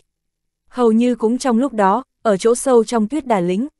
Nhóm năm tên đệ tử thích hoàn vũ đang sợ hãi trốn phía sau một ngọn núi nhỏ, trên cơ thể đám người này bị thương không nhẹ, dường như vừa mới kịch liệt trải qua một trận đấu liều mạng. Giữa không trung cạnh đám người này, còn có bốn tiểu nhân cao chừng hai thốn, xem ra là nguyên anh của những người đồng hành trước đây, có lẽ thân thể đã bị hủy. Ánh mắt mọi người lúc này đều nhìn vào tòa quang trận màu đen rất to phía trước ngọn núi nhỏ hơn mấy trăm trượng. Trên mặt đất phía dưới quang trận là thi thể một con yêu thú khổng lồ. Phía trên thi thể, Tô Đồng Tiêu đang bị quang trận màu đen vây khốn chặt bên trong, bên ngoài thân y phóng ra tia sáng chói mắt, đang cố dẫy dụa thoát ra. Nhưng mà quang trận màu đen kia hiển nhiên không phải là trận pháp tầm thường, kiên cố không gì sánh được, tuy là liên tục rung động nhưng trong nhất thời nửa khắc không có dấu hiệu hư hại. chương 230, nói nhiều. Cùng lúc đó, nhóm 6 người tôn khắc và Bạch Tố Viện cũng đã tiến vào sâu trong tùng quả lính. Từ đầu bọn họ chọn vốn là con đường an toàn nhất, nên yêu thú gặp trên đường có thực lực cũng không cao, lại thêm mọi người hành động ăn ý nên ngày càng thuận lợi. Tôn Sư Huynh, căn cứ vào ghi chép trên bản đồ thì còn khoảng hơn ngàn dặm nữa là sẽ đến khu vực hoạt động của tu hú tuyết. Bạch Tố Viện đang phi hành sát cạnh tôn khắc nhìn khắp đồng bằng tuyết trắng phía trước, khẽ nói. Yêu thú này tính tình không quá hung ác nhưng thực lực không thể coi thường, nghe nói trước đây đã có tiền lệ chủ động tập kích tu sĩ, cần phải cẩn thận một chút. Tôn khắc nhẹ gật đầu, nói. Vừa dứt lời thì đồn quang của Bạch Tố Viện đột nhiên dừng lại, ánh mắt đề phòng nhìn về rừng cây tùng rậm rạp cách đó chừng mấy trăm trượng. Hầu như đồng thời, tôn khắc cũng ngừng độn quang, khoát tay chặn lại bốn người đằng sau lưng. Bốn người kia không nói hai lời liền phân tán chia ra, đồng thời sớm tế ra pháp bảo của mình. Khục khục, xem ra mấy đứa nhỏ các ngươi cũng có vài phần năng lực đấy. Từ rừng cây tùng, một lão già gầy gò dung mạo bình thường, mặc áo bảo màu trắng chậm chậm bay ra, hắn giọng nói. Xin hỏi tiền bối là người phương nào? Vì sao lại núp trong bóng tối? Bạch Tố Viện mặc dù có chút kinh ngạc vẫn cung kính hỏi. Nàng không cách nào nhìn được tu vi người này. Thực tế nếu trên người nàng không mang một kiện dị bảo thì căn bản không cách nào phát hiện được hành tung của lão ta. Đối phương đã lén lút như vậy, hiển nhiên là có ý xấu mà đến. Đám người tôn khác cũng nghĩ như vậy, nhìn nhau thêm vài lần, tựa như đang ngầm thương lượng kế sách đối phó. Ta là ai không quan trọng, chỉ cần ngươi là bạch tố viện là được rồi. Chật chật, đúng là một đóa hoa tươi, lại mang nguyệt hoa chi thể tốt như vậy. Không cần nói nhảm nữa, ngươi theo lão phu đi thôi. Ánh mắt lão giả gầy gò rơi trên người bạch tố viện, nhàn nhạt nói. Trưởng lão bổn tông đang ở gần đây, các hạ đừng có lộn xộn. Thần sắc trên mặt bạch tố viện không đổi nhưng trong lòng lại lo lắng vô cùng. Hắc hắc, tiểu cô nương, đừng có đứng đó hư trương thanh thế. Ám vệ do trúc lòng đạo các ngươi an bài đã sớm bị lão phu đánh lạc hướng, bản thân còn khó bảo toàn. Ngươi muốn ngoan ngoãn đi cùng lão phu, hay là muốn lão phu động thủ cưỡng ép mang đi đây? Lão giả gầy gò mỉa mai nói, đám người tôn khắc nghe thấy vậy thì cả kinh, mặc dù bọn họ không có chỗ dựa lớn trong tông, nhưng đã có thể có được tư cách thí luyện lần này thì mỗi người cũng đều có thế lực ảnh hưởng và thông tin riêng nên từ đầu cũng đã biết trước việc trong thí luyện có ám vệ đi cùng. Việc này như là một viên thuốc an thần, đảm bảo cho bọn họ an tâm thí luyện. Hiện tại biết được ám vệ dường như đang bị đối phương vây khốn, tất nhiên cả đám đều cảm thấy hoảng sợ. vị tiền bối này, ta và ngươi không quen biết, vì sao lại cưỡng bức ta đi cùng với ngươi? Bạch Tố Viện hơi đảo tròng mắt nhưng liền khôi phục, hỏi. Ha ha, ngươi không phải vẫn luôn muốn biết tung tích của lão tổ Bạch gia các ngươi sao? Chỉ cần ngươi đi cùng thì lão phu sẽ nói cho ngươi biết y đang ở đâu. Lão giả gầy gò không trả lời Bạch Tố Viện, vừa cười vừa nói. Ngươi biết gia tổ, Bạch Tố Viện nghe được, vội vàng hỏi. Ta tất nhiên là biết trưởng lão Bạch Phụng Nghĩa. Lão giả thản nhiên nói. Trên mặt Bạch Tố Viện hiện lên vẻ do dự, dù nàng rất tâm cơ nhưng vẫn có chút rối loạn. Bạch sư muội đừng nghe lão ta nói càn, đấy chỉ là chút thủ đoạn dụ dỗ người đưa tay vào chồng thôi. Nhất quyết không phải là thật, tôn khắc thấy vậy, vội vàng nhắc nhở. Không sai, nếu như ngươi biết lão tổ nhà ta thì mau đưa ra tín vật. Bạch Tố Viện nghe vậy, liền nói, rượu mời không uống, lại muốn uống rượu phạt, tiểu cô nương ngươi đã không biết tốt xấu, lão phu cũng không cần phải kiên nhẫn nữa. Nói nhiều nữa cũng chỉ phí lời. Lão giả thần sắc lạnh lẽo, nói. Nói xong, lão đột nhiên nâng tay lên, năm ngón tay hướng về phía trước đẩy tới, phóng ra một viên đạn ánh vàng rực rỡ, chớp mắt đã ở hơn 10 trượng trước mặt Bạch Tố Viện. Một khắc sau, ánh sáng vàng của viên đạn đột nhiên sáng ngời, hóa thành một cái lưới lớn màu vàng, chụp xuống đầu nàng. Bạch Tố Viện kinh hãi, mũi chân điểm nhẹ xuống mặt đất, thân hình lao cực nhanh về phía sau. Nhưng thực lực hai bên cách biệt vô cùng lớn, mặc dù là nàng đã có phản ứng đầu tiên nhưng vẫn không cách nào né tránh được. Đám người tôn khác thậm chí còn chưa kịp cử động, chỉ có thể trơ mắt đứng nhìn bạch tố viện bị lưới vàng chụp lại. Nhưng đúng lúc này, một đạo ánh sáng màu xanh đột một lóe lên giữa không trung, tiếp theo đó một bóng người lập tức xuất hiện trước người bạch tố viện, không nói hai lời liền vung tay về phía trước. Viu viu, một màng nước màu đen thẳng phóng ra, đập vào lưới vàng phía trước. Lưới vàng vốn đang mạnh mẽ xông tới, khi bị đám nước màu đen này bám lên đột một trầm xuống, giống như đang gánh trên mình sức nặng ngàn quân, rơi thẳng xuống đất. Làm sao có thể, sắc mặt lão giả đột nhiên trầm xuống. Lệ, trưởng lão, bạch tố viện chật vật đứng vững lại, khi thấy rõ bóng lưng người trước mặt liền mừng rỡ kêu lên. Giờ phút này, bóng lưng ngăn giữa nàng và lão giả gầy gò đúng là của Hàn Lập. Các hạ nói hơi lố rồi đấy, ta rõ ràng ở gần đây, các hạ lại nói ta như vậy. Chẳng may những vãn bối này báo lại như thế với tông môn thì ta sẽ bị trừ điểm công trạng đấy. Hàn Lập không quay đầu nhìn Bạch Tố Viện mà lạnh lùng nhìn chằm chằm lão giả gầy gò phía đối diện, chậm rãi nói. Thảo nào dù khí tức đạo thân ảnh kia giống hệt của ngươi, nhưng vẫn có cảm giác là lạ. Bất quá chỉ là một tên chân tiên cảnh sơ kỳ cũng dám ngăn trở lão phu sao. Đồng tử lão giả co lại, cười lạnh nói. Dứt lời, lão ta liền nhấc tay tế ra bảy thanh phi kiếm sáng loáng, bay lượn biến thành một bộ kiếm trận, tập kích về phía Hàn Lập. Phù văn trên mặt phi kiếm sáng lên từng đoàn từng đoàn lửa trắng. Từ xa nhìn lại, bảy thanh phi kiếm giống như một con diều hâu lửa cực lớn đang dương cánh lao tới. Hàn Lập thấy vậy giơ hai tay lên, phóng ra một vòng trọng thủy màu đen, biến thành một dao long màu đen dài hơn một trượng bay lượn giữa không trung, xông về phía con diều hâu lửa màu trắng. Ầm ầm ầm, một hồi âm thanh nổ đùng đoàng vang lên giữa không trung, vô số ngọn lửa màu trắng bắn ra, rơi xuống đống tuyết xung quanh. Lập tức, từng đoàn xương trắng bốc lên, phát ra những tiếng ục ục như nước sôi. Từng đụn tuyết trên hơn 10 thân cây tùng nhanh chóng bị tan ra, thân cây bị những ngọn lửa trắng thiêu đốt hừng hực. Bạch sư muội, không biết vị trưởng lão này là người phương nào. Tôn khắc nhìn đạo thân ảnh phía trước, trong mắt hiện lên vài tia cổ quái, đi đến cạnh Bạch Tố Viện, mở miệng hỏi. Người là trưởng lão nội môn của bổn tông, Lệ Phi Vũ, Bạch Tố Viện đang hoàn toàn tập trung vào trận giao chiến của hai người trên không, vì vậy không phát hiện được thần sắc khác thường của Tôn Khắc, thuận miệng giải thích. Tôn Khắc nghe vậy thì vô cùng kinh ngạc, vị lệ trưởng lão này và người gã gặp trên lôi chu vượt biển lại trùng tên trùng họ, quan trọng nhất là gã lại cảm nhận được khí thức của hai người này khá giống nhau. Khí tức thì giống nhau nhưng tu vi lại khác nhau một trời một vực, làm sao bọn hắn có thể là cùng một người chứ? Đúng lúc này, chợt nghe thấy lão giả gầy gò kia mở miệng hét to. Con diều hâu lửa do phi kiếm biến thành đột một dương cao đôi cánh, thế lửa tăng mạnh, đánh cho dao long màu đen của Hàn Lập liên tục phải lùi lại. Hàn Lập thấy thế, tay đan pháp quyết, thấp giọng thì thảo chú ngữ. Một viên luân lớn hơn một xích, mặt ngoài trải rộng linh văn phức tạp có hoa văn màu đen đột nhiên xuất hiện sau lưng hắn, phát ra thủy khí tức mãnh liệt. Đây chính là trọng thủy chân luân, nhanh, chỉ nghe một tiếng quát khẽ, thanh âm ông ông giống như tiếng bánh răng chuyển động vang lên càng lúc càng mãnh liệt. Trọng thủy chân luân bỗng nhiên xoay tròn rất nhanh, rồi trở nên mơ hồ, bắn nhanh về phía diều hâu lửa màu trắng phía trước. Thời điểm tới gần diều hâu lửa, thủy đạo văn bên trên trọng thủy chân luân sáng bừng ánh sáng màu lam, truyền ra từng trận khí tức thủy pháp tắc. Lão giả gầy gò thấy thế, sắc mặt hơi biến, giơ tay bắn ra một tấm phủ lục màu vàng. Một khắc trước khi trọng thủy chân luân và diều hâu lửa màu trắng va chạm với nhau, tấm phủ lục lóe lên, nhập vào trong diều hâu lửa. Một tiếng ầm, diều hâu lửa màu trắng sau khi được phù lục màu vàng sát nhập liền hóa thành một quả cầu ánh sáng màu trắng sáng rực, lao thẳng vào trọng thủy chân luân. Oanh, từ trung tâm vụ va chạm, từng đợt khí tức cuồn cuộn như sóng quét ra. Một nửa nóng bỏng như lửa, một nửa lại lạnh thấu xương quét về bốn phương tám hướng, như một cơn bão tuyết điên cuồng phá hủy cả khu rừng. Đám người tôn khắc khi thấy không ổn đã sớm trốn ra xa mấy trăm trượng. Từng tiếng nổ lớn bong bong phát ra từ phía rừng cây. Trọng thủy chân luân giống như một vầng mặt trời màu đen điên cuồng xoay tròn, không ngừng va chạm kịch liệt với quang cầu màu trắng do phi kiếm biến thành, nhất thời vẫn chưa phân thắng bại.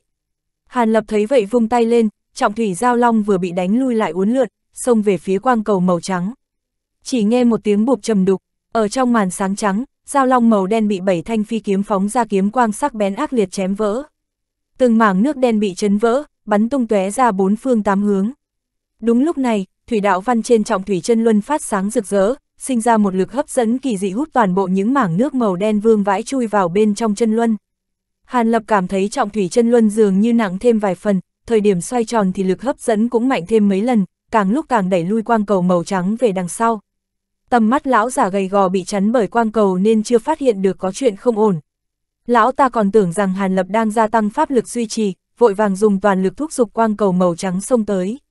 Hàn Lập lại vung tay lên lần nữa, một vòng hắc quang hiện lên giữa không trung hóa thành một con trọng thủy giao long bay múa. Lúc này nó không hướng về quang cầu màu trắng mà lại xông về phía trọng thủy chân luân. Một tiếng xoẹt nhỏ vang lên, trọng thủy giao long giống như muối bỏ bể, sáp nhập vào trong chân luân. Chỉ thấy trọng thủy chân luân sáng lên, biến lớn hơn, rồi càng trở nên nặng hơn. Lão giả gầy gò dùng mình, chỉ cảm thấy một cỗ khí thức tràn ngập thủy thuộc tính cuồn cuộn kéo đến, lại có sức nặng tựa như núi cao đè xuống, khiến lão ta có chút khó thở. Hai tay lão ta vội vàng bấm pháp quyết, toàn lực thúc giục quang cầu màu trắng để giữ cho nó không lập tức tan rã, đồng thời há miệng phun ra một con rối màu vàng to chừng ngón tay cái. chương 231, Trọng Thủy Gia Uy. Khi con rối màu vàng vừa xuất hiện, thân hình nó liền mơ hồ biến mất, sau một khắc lại có hào quang quỷ mị xuất hiện trên đỉnh đầu Hàn Lập. Từ trong kim quang hiện lên, một con rối cao hơn ba trượng mặc áo giáp sáng màu vàng, tay cầm chảy hàng ma phóng ra, vùng chảy nện vào đầu Hàn Lập. Sau khi ném một viên cầu màu đen về phía trọng thủy chân luân, Hàn Lập liền nâng một tay lên đỡ về phía chảy hàng ma đập tới. Vảy vàng hiện lên trên cánh tay hắn, biến lớn, rồi va vào cái chảy hàng ma kia.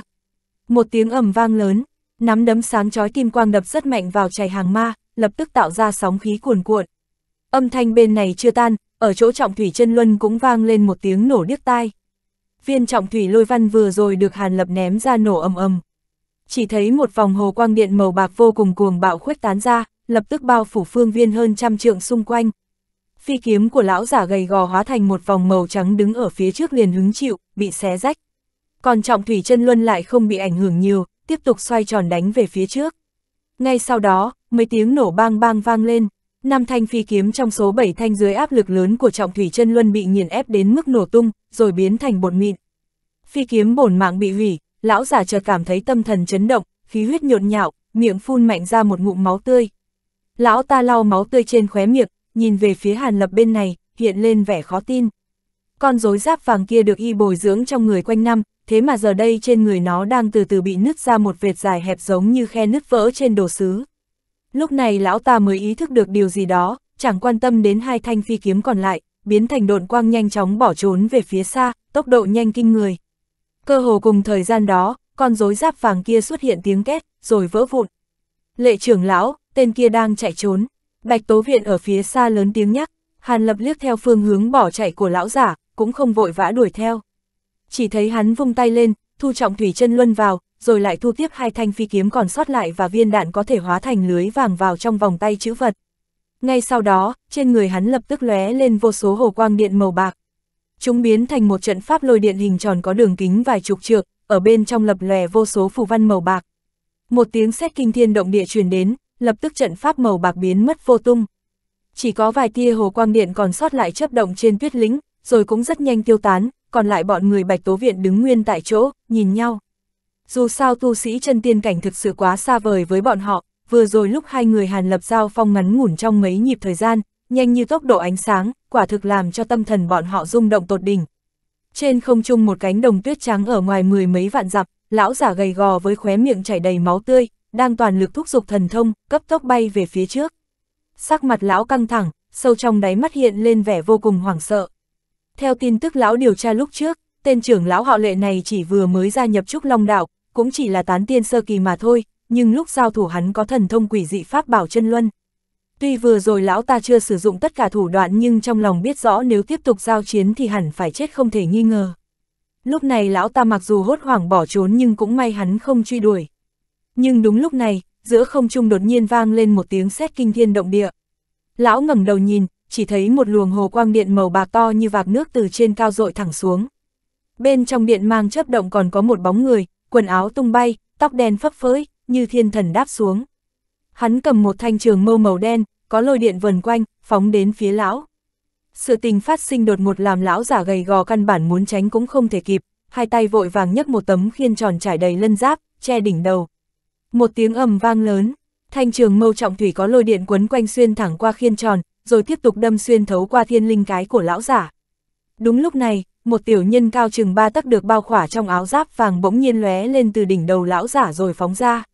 Không chờ Hàn Lập thi triển thủ đoạn gì, bề mặt làn da tiểu nhân bỗng nhiên hiện lên một lớp huyết quang, thân hình nó liền hóa thành một đám mưa máu tiêu tán biến mất, vô tung vô ảnh. Lúc này, Hàn Lập buông thần thức ra, trong chốc lát bao phủ phương viên mấy vạn dặm, nhưng không phát hiện chút dấu vết của lão giả. Hắn chậm rãi rút trường mâu trọng thủy từ cơ thể lão giả ra, bàn tay chảo trong hư không một cái hút vòng tay chữ vật ở trên cổ tay lão giả. Các động tác của hắn như nước chảy mây trôi. Sau khi nắm vòng tay chữ vật, thần thức hắn thăm dò vào trong thì phát hiện có không ít đồ vật, ngoại trừ mấy pháp bảo có phẩm chất tốt, còn có hơn 10 miếng tiên nguyên thạch. Thật không uổng công hắn đuổi theo tên này. Sau khi thu hồi vòng tay chữ vật, Hàn Lập độn quang quay về chỗ cũ. Nhưng lúc trở về, hắn lại phát hiện bọn người Bạch Tố Viện đã được Tô Đồng Tiếu dẫn tới một sơn cốc gần Tùng Quả Lính. Ở cùng với bọn họ còn có Phương Vũ và hơn 10 người đệ tử của hai nhóm kia. Ngoại trừ đám người thích hoàn vũ có 4 người bị hủy thân thể, các đệ tử còn lại cũng không bị thương vong gì. Tuy nhiên, trên mặt không ít người vẫn còn mang theo vẻ sợ hãi. Tô Đồng Tiếu lúc này ngồi xếp bằng trên một tảng đá lớn trong cốc, khí tức trên người có chút bất ổn, tựa hồ bị thương một chút. Thế nào, Lệ Huynh, có đuổi kịp tên kia không? Vừa thấy Hàn Lập, gã lập tức chạy ra đón chào, dò hỏi. Hiển nhiên, gã cũng biết rõ nơi đây vừa rồi đã xảy ra chuyện gì rồi. Tên đó đã bị hủy thân thể nhưng Nguyên Anh của y thi triển một loại bí thuật huyết độn không biết tên, trốn đi rồi. Hàn Lập lắc đầu, nói, cũng may lệ huynh đến kịp thời nên những đệ tử này đều không gặp nguy hiểm. Bên kia, ta sơ sẩy một chút, ai, nhưng đã diệt được thân thể tên này, coi như có chuyện để báo cáo với tông môn. Tô Đồng Tiếu có chút than thở nói, Tô huynh xem thí luyện lần này còn tiếp tục không? Hàn Lập hỏi, trong thí luyện xuất hiện tu sĩ chân tiên cảnh gây rối, khó nắm chắc đối phương không có chuẩn bị gì tiếp theo nữa không? Để cho an toàn thì nên kết thúc thí luyện, về bẩm báo tông môn trước rồi tính sau. Tô Đồng Tiếu lắc đầu nói, như thế cũng tốt, Hàn Lập nhẹ gật đầu, nói, đúng rồi, lần này nhờ có lệ huynh ra tay, quà mà những trưởng lão kia trước đây tặng cho cũng để cho huynh một phần. Tô Đồng Tiếu đột nhiên đi sát tới gần người hắn, lấy ra một cái túi đựng đồ, nhét vào trong tay Hàn Lập, truyền âm nói. Tô huynh khách khí, Hàn Lập thấy vậy, cũng không nói thêm gì thu túi chữ vật vào. Dù sao nếu hắn không ra tay kịp thời, chỉ sợ hôm nay Tô Đồng Tiếu đã bị sứt đầu mẻ chán rồi. Vì phòng ngừa phát sinh biến cố, mọi người không chọn phi hành, mà đi bộ dọc theo đường cũ trở về. Trải qua việc này, những đệ tử được xưng là con cưng tài giỏi trong môn đã trở nên biết điều hơn, nhất là hai người thích hoàn vũ và đường xuyên cũng không huính hoáng như trước, mà đã trầm mặc rất nhiều. Tô Đồng Tiếu đi trước dẫn đường, chúng đệ tử kẹp ở giữa, Hàn Lập đi sau cùng bảo vệ. Bạch Tố Viện không biết có phải vì nghe được tin tức Bạch Gia Lão Tổ từ miệng Lão Giả, sau khi nói vài lời cảm tạ với Hàn Lập, rồi một mình lặng lẽ đi trong đội ngũ, lộ ra tâm sự nặng nề. Tôn Khắc thì ngập ngừng bước, liên tục do dự, vẫn cố ý đi chậm lại ở nhóm cuối, im lặng đi tới bên cạnh Hàn Lập. Đang lúc gã suy nghĩ xem nên mở miệng như thế nào thì chợt nghe thấy một âm thanh quen thuộc, Tôn Đạo Hiếu, từ khi chia tay đến giờ không có vấn đề gì chứ. a à, quả nhiên là lệ huynh, không không, là lệ trưởng lão. Tôn khắc hơi ngây người một chút, thần sắc vội vàng cung kính trả lời. Lúc trước trên lôi thuyền vượt biển, có chút che giấu, mong người bỏ qua. Hàn lập cười trả lời, không dám, không dám, chỉ là không nghĩ tới lệ trưởng lão là trưởng lão nội môn Trúc Long Đạo. Sớm biết như vậy cũng không cần tốn sức tìm kiếm quan hệ, rồi phải hiến vật quý cho người khác, mới đổi được cơ hội tiến vào nội môn. Trực tiếp hiến vật quý cho lệ trưởng lão sẽ tốt hơn. Tôn khắc có chút tiếc hận trả lời, ta cũng không nghĩ ra, nếu lúc ấy biết người cũng muốn tới đây, cùng lên đường thì tốt. Lại nói tiếp, ta vẫn nhớ mãi không quên rượu ngon của tôn đạo hiếu. Những ngày trước từ xa thấy ngươi xuất ra rượu ngon hỏa tiên, càng thêm thèm thuồng. Hàn lập cười ha ha, nói, nếu lệ trưởng lão thích, vãn bối còn có một chút, liền tặng cho ngài. Tôn khắc nghe vậy, không chút do dự nói, tôn đạo hiếu, lệ mỗ có một yêu cầu quá phận, không biết ngươi có thể đáp ứng hay không. Hàn lập xoay chuyển lời nói, hỏi, lệ trưởng lão cứ nói, đừng ngại, tôn khắc hơi sướng sờ, ta muốn dùng một kiện linh bảo đổi lấy tử phương của hỏa tiên tiên tử này của tôn đạo hiếu. Không biết ngươi có đồng ý không? Hàn lập nói thẳng, không dối gạt lệ trưởng lão, rượu này không giống linh tử khác. Tử phương của nó chính là gia tộc bí truyền, chỉ sợ sớm đã thất truyền ở bên ngoài rồi. Lần này mặc dù vãn bối lấy trộm nó ra, nhưng gần đây trong tộc nghiêm cấm truyền ra ngoài. Tuy nhiên, từ trước đến nay đã được lệ trưởng lão cứu mạng hai lần, tôn khắc tuy tu vi không cao, nhưng không phải loại chịu ơn mà không báo. Tử phương này xin tặng cho lệ trưởng lão, tôn khắc nghe vậy, vốn hơi khó xử, nhưng cắn răng nói. Ngươi đã tặng ta tử phương, ta cũng tặng ngươi một kiện linh bảo, để người ta không nói ta ỉ lớn hiếp nhỏ. Kiếm này có phẩm giai không thấp nên điều khiển không dễ. Ngươi nên luyện hóa trước, rồi luyện tập nhiều vào, chớ bôi nhọ bảo vật này. Hàn Lập nghe vậy, tay khẽ chuyển, lấy một túi chữ vật đưa ra. Trong túi đúng là thanh trường kiếm màu vàng đoạt được từ thận nguyên thú. Tôn khắc hiện lên vẻ sợ hãi, nhưng cũng không từ chối nhận lấy túi chữ vật, đồng thời đưa ra một trang giấy cũ kỹ không biết chất liệu gì và một bình rượu tinh xảo màu hồng. Hàn Lập thu bình rượu vào trước, rồi đánh giá tử phương ghi trên trang giấy cũ kỹ, sau đó lấy ra một miếng ngọc giản ghi lại, rồi trả lại nguyên vẹn trang giấy cho tôn khắc. Một màn này đều được đám đệ tử phía trước theo dõi, phát hiện tôn khắc có quan hệ không tầm thường với một trưởng lão nội khiến cả đám cực kỳ hâm mộ. Ánh mắt cả bọn nhìn về phía tôn khắc trở nên bất đồng. Bọn họ mặc dù trong gia tộc cũng có chân tiên tỏa chấn, nhưng căn bản họ không có dũng khí cùng luận giao ngang hàng như thế. Thực tế khi bọn họ quan sát thì vị lệ trưởng lão này dường như lợi hại hơn so với vị tô trưởng lão kia, chắc là có địa vị rất cao trong tông. Dù sao đám người đường xuyên dưới sự bảo vệ của ngài không xuất hiện thương vong gì nhiều, trong khi đám người thích hoàn vũ dưới sự bảo vệ của tô trưởng lão lại có tới bốn người bị hủy đi thân thể. Có vài nữ tu nhìn về phía tôn khắc, trong ánh mắt có chứa ý tứ khó hiểu. Mà sở dĩ trước mặt mọi người Hàn Lập hào phóng tiến hành giao dịch cùng tôn khắc, tất nhiên cũng là để cho mọi người thay đổi thái độ cư xử với gã. Bản thân tôn khắc cũng ngầm hiểu việc này. chương 232, giải thích nghi vấn. Sau khi trở lại Trúc Long Đạo, Tô Đồng Tiêu cho Phương Vũ phụ trách đưa đám đệ tử trở về Điện Triều Dương, còn bản thân gã thì chạy đi bẩm báo cao tầng bên trong tông. Dù sao lần thí luyện này bỏ dở ngoài ý muốn, gã ta có tu vi cao nhất đương nhiên phải có câu trả lời hợp lý với tông môn. Nhất là có tên đệ tử bị hủy thân thể, tuy sự tình xảy ra là có nguyên nhân nhưng gã đã lấy quả của người ta, không thể phủi hết trách nhiệm của mình được. Hàn Lập cũng không muốn dây vào việc này, liền cáo từ Tô Đồng Tiêu, rồi đi thẳng tới ngọn núi Kinh Vân, vào tòa thiên điện ở sâu bên trong điện Thái Huyền. Trong thiên điện vẫn quạnh quẽ như trước, cánh cửa nửa khép nửa mở, lão giả lôi thôi đang buồn chán thối ruột ngồi trên chiếc ghế dựa phía sau bàn trà. Rượu tuy ngon nhưng lại không được uống nhiều rồi, mới có mấy ngày đã sắp hết, lão giả cầm hồ lô rượu màu son trên tay, thỉnh thoảng uống vài hớp, nói lầm bầm. Hàn Lập đi tới bên ngoài cửa điện, vừa trùng hợp nghe được lão giả ca thán, sau khi dừng một chút, liền giơ tay đẩy cửa đi vào. Tiểu tử, xem ra cũng đã hoàn thành nhiệm vụ thứ ba. Tay chân mau lẹ đấy, có nhìn chúng tiểu cô nương nào hay không? Lão giả thấy Hàn Lập tiến đến, ngẩng đầu nhìn hắn một cái, rồi nói. Trong quá trình thí luyện xảy ra chút việc ngoài ý muốn nên dừng lại trước hạn. Tuy nhiên, cuối cùng những đệ tử kia cũng không có chuyện gì. Không biết như thế có được coi là hoàn thành nhiệm vụ hay không? Hàn Lập nói vắn tắt việc phát sinh trong dãy núi huyền băng một lần, thuận tiện dơ lệnh bài trưởng lão của mình đưa tới. Bọn họ có hoàn thành thí luyện hay không không liên quan gì đến ngươi, mà ta cũng không quan tâm. Chỉ cần ngươi làm xong chuyện của mình, nhiệm vụ tự nhiên là hoàn thành. Lão giả miệng thì nói mà tay nhận lấy lệnh bài. Lão giả mở sách tính công ra, nhanh chóng ghi số điểm công trạng là thù lao nhiệm vụ của Hàn Lập vào. Sau đó, lão ta khoát tay, ném lại lệnh bài cho hắn. Hàn Lập cũng không nói gì nhiều, tự tay nhận lấy lệnh bài, rồi thuận tay thu vào. Hắn nhìn thoáng qua lão đầu hô ngôn, rồi liếc nhìn linh dược trên bàn trà, chân không hề di chuyển, không tỏ vẻ định ra về. Làm sao, tiểu tử ngươi còn thấy thiếu nhiệm vụ chấp sự. Làm xong ba cái, còn định nhận cái thứ tư. Lão giả liếc mắt nhìn hắn, tức giận nói. Tiền bối nói đùa, lúc trước tiền bối nói về chuyện đạo binh. Người tính, dừng, dừng, nếu như ngươi không có tử phương thì nói gì cũng vô dụng. Lão phu nửa điểm cũng sẽ không lộ về chuyện đạo binh đâu. Hàn Lập còn chưa nói hết, đã bị trưởng lão hô môn cắt lời. Tiền bối, ngài chớ vội cự tuyệt, vãn bối hôm nay xong nhiệm vụ, dù sao cũng vô sự, có thể ở chỗ này uống cùng tiền bối một chén hay không? Hàn Lập sớm có dự liệu về việc này, mỉm cười, dò xét thử hỏi. Trong khoảng thời gian này lão phu rất bận rộn, không có thời gian trưng cất rượu. Rượu cũng không còn nhiều, hôm nay là uống một chén thiếu một chén, mình ta cũng không đủ. Lần trước trong chốc lát vui vẻ để cho ngươi một chén tiếp một chén, sau khi ngươi đi rồi, lão phu thật ra rất đau lòng. Đừng nghĩ đến đạo binh của lão phu, lui mau, lui mau.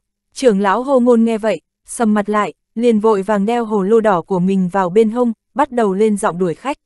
Không phải muốn tiền bối rót cho một chén, mà là vãn bối muốn mời ngài uống một chén. Hàn Lập nghe vậy, vừa cười vừa nói, mời lão phu uống một chén. Con sâu rượu trong bụng lão phu rất biết kén chọn, nếu như linh tử tầm thường thì tiểu tử ngươi cũng đừng lấy ra bêu xấu. Làm hỏng khẩu vị của lão phu thì đừng nói chuyện đạo binh hoàn toàn không có cửa, mà một cước đá người ra khỏi ngọn kinh vân này cũng có thể làm đấy. Trưởng lão hô ngôn cao mày, mở miệng nói. Hàn lập nghe vậy cũng, chỉ là đưa tay lấy ra, nhẹ nhàng để trên bàn trà trước người. Trên đó liền hiện ra hai chén rượu bằng ngọc màu xanh biếc. Thân chén trong suốt, màu xanh biếc trải đều, bên trong có từng sợi tơ màu vàng nhỏ bé quanh quẩn, tạo thành nhiều hoa văn như cánh hoa, thoạt nhìn có chút bất phàm. Ơ, chén ngọc lưu ly tơ vàng, không tệ. Lão giả không định nói thêm nữa nhưng khi nhìn đến hai chén ngọc thì khẽ ổ lên một tiếng, nói. Hàn Lập không nói gì, cổ tay lại lộn một cái. Một bình rượu tinh xảo màu lửa đỏ liền xuất hiện ở bàn tay. Hắn giơ tay kia lên, mở nắp bình rượu bằng gỗ ra. Một tiếng gục vang nhỏ, mùi rượu hết sức kỳ lạ, lại cực kỳ nồng nặc trong nháy mắt tràn lan ra, tràn ngập toàn bộ thiên điện. Mũi trưởng lão hô môn ửng đỏ, lão ta lập tức nhíu mày một cái, trong mắt hiện lên thần thái khác thường. Cơ thể lão ta không tự chủ được nghiêng về trước, từ ghế ngồi đứng lên. Nửa người đều nằm ở trên bàn trà màu đỏ, để đầu sát vào bình rượu của Hàn Lập, cố sức ngửi một cái. Mau mau nhanh, còn đứng ngây ra đó làm gì? Nhanh rót cho lão phu, mùi vị này. Con sâu rượu trong bụng lão phu đòi chạy ra ngoài đây này. Trưởng lão hô ngôn mím môi một cái, hai mắt sáng lên, không dằn nổi kêu lên. Hàn Lập tất nhiên không dám trêu chọc lão giả, liền thò tay ra, nghiêng miệng bình, rót rượu vào hai chén ngọc lưu ly tơ vàng trên bàn trà. Trưởng lão hô ngôn vội vã cầm chén rượu lên, để trước mắt quan sát tỉ mỉ. Chỉ thấy rượu trong chén có màu đỏ tươi, tản mát ra ánh hồng như lửa, nước lung linh, trong vắt, hơi gợn nhẹ trong chén. Có thể thấy trên mặt nước còn phản xạ những đốm sáng hồng như là ngọn lửa nhảy múa vậy. Lão ta không thể chờ thêm, đưa chén rượu lên môi, nhẹ nhàng nhấp một cái. Chân mày nhất thời dựng lên, mặt hiện lên vẻ vui mừng, tiện đà lão ta ngửa cổ lên, đưa trọn cả chén rượu vào miệng, uống một hơi cạn sạch. Rượu vào bụng, một dòng nước ấm kỳ dị nhất thời chảy khắp bách mạch tứ chi toàn thân. Mũi lão giả ửng đỏ, sắc mặt lập tức sung sướng hơn vài phần. Hai mắt lão ta khép hờ, cảm thụ được dư vị rượu ngon còn lưu lại trong kẽ răng, trên mặt không khỏi hiện ra một vẻ thỏa mãn. Hàn Lập trông thấy một màn này, khóe miệng cũng không khỏi hiện lên nụ cười nhạt. Rượu ngon, rượu ngon, tiểu tử, rượu ngon này ngươi lấy từ chỗ nào ra thế? Lão phu trước đây chưa từng uống qua, lão giả từ trong dư vị của rượu ngon, phục hồi lại tinh thần, lập tức hỏi. Rượu này có tên là hỏa tiên, có nguồn gốc từ đại lục hoang lan. Chẳng qua bởi vì nguyên do tử phương đã bị thất truyền nên bây giờ rất khó gặp được. Hàn Lập giải thích như thế. Cái gì, tử phương thất truyền, trưởng lão hô ngôn nghe thế, nhất thời như bị xét đánh, vội kêu lên. Nhưng rất nhanh lão ta liền bình tĩnh lại, ánh mắt nhìn Hàn Lập hỏi, nếu như đã thất truyền, làm sao mà ngươi có được rượu này? Điều này tiền bối không cần quan tâm, vãn bối chỉ muốn biết bằng vào tử phương của hỏa tiên tiên tử này có đủ cho vãn bối đổi lấy kiến thức đạo binh mà người đang nắm giữ hay không? Hàn Lập dứt khoát hỏi, việc này, lão giả sau khi nghe xong, hơi cúi đầu, ngồi trở về trên ghế, nét mặt lộ ra vẻ do dự, trong lòng cuống quyết. Tuy nhiên, Hàn Lập lại thấy ánh mắt vẫn đang không ngừng liếc về bình rượu tinh xảo màu lửa đỏ trong tay hắn, hiển nhiên là lão ta nhất định muốn bỏ tử phương và bình rượu này vào trong túi. Quả nhiên ngay sau đó, chợt nghe lão giả nói, mà thôi, mà thôi, lão phu và tiểu tử ngươi cũng coi như hợp ý, chỉ cần ngươi giao cho lão phu tử phương và bình rượu hỏa tiên tiên tử kia thì kiến thức về đạo binh. Lão phu sẽ dạy cho ngươi, có ngại gì đâu, tiền bối, điều này không thể được đâu, chúng ta ước định khi trước cũng chỉ có tử phương. Hơn nữa, hỏa tiên này vãn bối cũng chỉ còn một bình, cũng không thể vô duyên vô cớ mà cho tiền bối được. Hàn Lập quyết đoán nói, không thể vô duyên vô cớ cho ta, tiểu tử nói thẳng đi, ngươi đây còn coi trọng thứ gì của lão phu nữa. Trưởng lão hô ngôn hiểu ngay ý tứ bên ngoài ngôn từ của Hàn Lập, trợn mắt hỏi. Vãn bối còn muốn học thêm một ít của tiền bối là làm thế nào trồng được linh dược này vào trong bồn. Hàn Lập cười khan hai tiếng, nói ra suy nghĩ trong lòng. Ha ha, lão phu còn tưởng là chuyện gì, việc này không có gì, lão phu sẽ dạy luôn cho ngươi. Trưởng lão hô ngôn cao giọng cười lớn nói, Hàn Lập thấy lão ta phóng khoáng như thế, ngược lại lại cảm thấy có chút ngoài ý muốn. Sau khi nghe lão nói qua về phương pháp trồng thì mới hiểu rõ tại sao lão đầu lôi thôi này lại thẳng thắn như vậy. Bởi vì phương pháp trồng linh dược trong bồn hoa này cũng không phức tạp, chỗ khó khăn nhất chính là tìm bồn trồng linh dược thích hợp và cách điều phối có thể cung cấp sung túc linh lực và linh dịch cho linh dược. Bồn hoa hình tròn màu đen thui mà trưởng lão hô ngôn dùng cho cây kia, bản thân nó chính là một hiện pháp bảo có thể hấp thụ thiên địa linh khí. Vì vậy, nó mới có thể nuôi được linh dược khiến cho linh dược dù rời khỏi đất mà vẫn có thể không ngừng sinh sôi, phát triển. Mặt khác, loại phương pháp trồng trọt này cũng vẻn vẹn chỉ giới hạn trong số rất ít linh dược đặc thù, không thích hợp với tất cả mọi linh dược. Không nghĩ tới còn nhiều hạn chế như vậy, thật đáng tiếc, Hàn Lập than thở, lão phu nói cho người biết, mau mau đem hỏa tiên tử và tử phương cho ta đi. Trưởng lão hô ngôn cười ha hả, thúc giục, Hàn Lập đưa bình rượu tới trước, rồi sau đó lại lật tay lấy ra tử phương sớm đã phục chế đặt ở trên bàn trà. Trưởng lão hô ngôn đầu tiên là tiếp nhận bình rượu, mở nắp ra ngửi ngửi, sau đó lại tỉ mỉ kiểm tra tổ phương. Miệng còn thỉnh thoảng lẩm bẩm, quả nhiên dùng lá la hán vạn năm.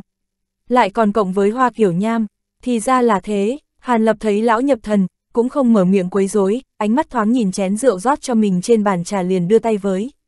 Nhưng hắn còn không nghĩ đến tay còn chưa chạm tới đã bị trưởng lão hô ngôn vỗ nhẹ vào.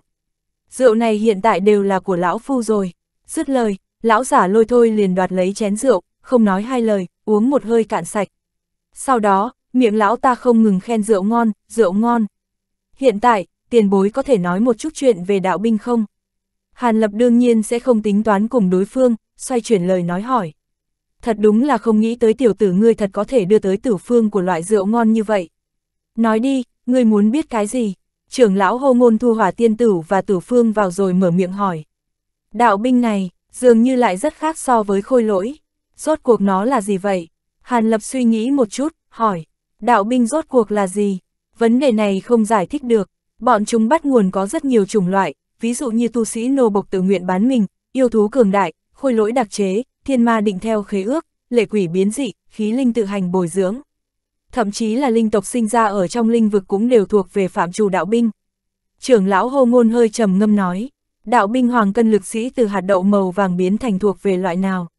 Hàn lập gật đầu, lại hỏi, a ngươi nói là đậu binh, chúng nó thuộc về đạo binh khôi lỗi trồng trong tiên giới, cần hai điều kiện là năng lực thiên phú và việc luyện chế về sau, cả hai cùng phối hợp với nhau mới thành được.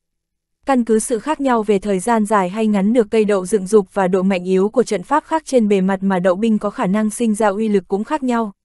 Trưởng lão Hô Ngôn giải thích, chương 233, gieo trồng đậu binh, thì ra là thế, đạo binh này ngoại trừ có thể dùng để chiến đấu, còn có công dụng gì khác không? Hàn Lập nhẹ gật đầu, hỏi tiếp, căn cứ nguồn gốc khác nhau mà đạo binh thường có thiên phú đặc thù nào đó, còn triệt để trăm phần trăm tuân theo mệnh lệnh chủ, hung hãn liều chết.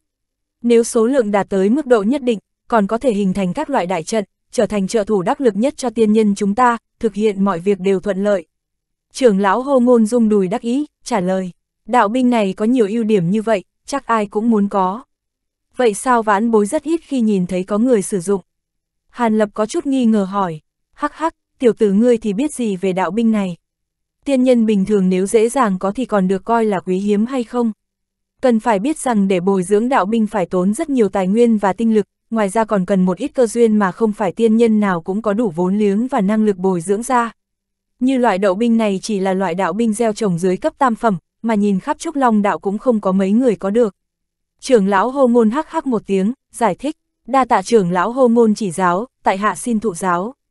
Còn về thuật luyện chế đạo binh kia, Hàn lập thi lễ với lão một cái, rồi nói thêm. Được, do ngươi khiến lão phu có được tử phương thượng hạng, ta có chút ít tâm đắc đạt được trên phương diện gieo trồng đậu binh sẽ cấp cho ngươi. Tuy nhiên nhớ kỹ cho lão phu, cấm truyền ra ngoài. Đúng rồi, hai chén lưu ly tơ vàng này lão phu rất thích, coi như tiểu tử ngươi hiếu kính. Trưởng lão hô ngôn vốn đang nghiêm mặt, bỗng rảo hoạt cười nói. Dứt lời, không đợi Hàn Lập đáp ứng, lão liền vỗ nhẹ bàn tay bên trên bàn trà, thu hai chén lưu ly tơ vàng vào. Cùng lúc đó, bên trên bàn trà cũng xuất hiện một quyển sách giấy vàng mỏng. Hàn Lập tuy ít nói, nhưng đã hiểu rõ tính nết của lão nhân này, tất nhiên sẽ không nói gì thêm, thò tay cầm quyển sách mỏng kia lên, lật xem vài trang, lập tức cẩn thận thu vào. Không ngờ nội dung bên trên quyển sách vàng hoàn toàn chính xác có ghi chép về phương diện gieo trồng một ít chủng loại đậu binh. Nhìn qua thì đúng thật là trưởng lão hô ngôn ở trên phương diện này có rất nhiều giải thích độc đáo. Đợi đến khi hắn trở về có thể từ từ nghiên cứu.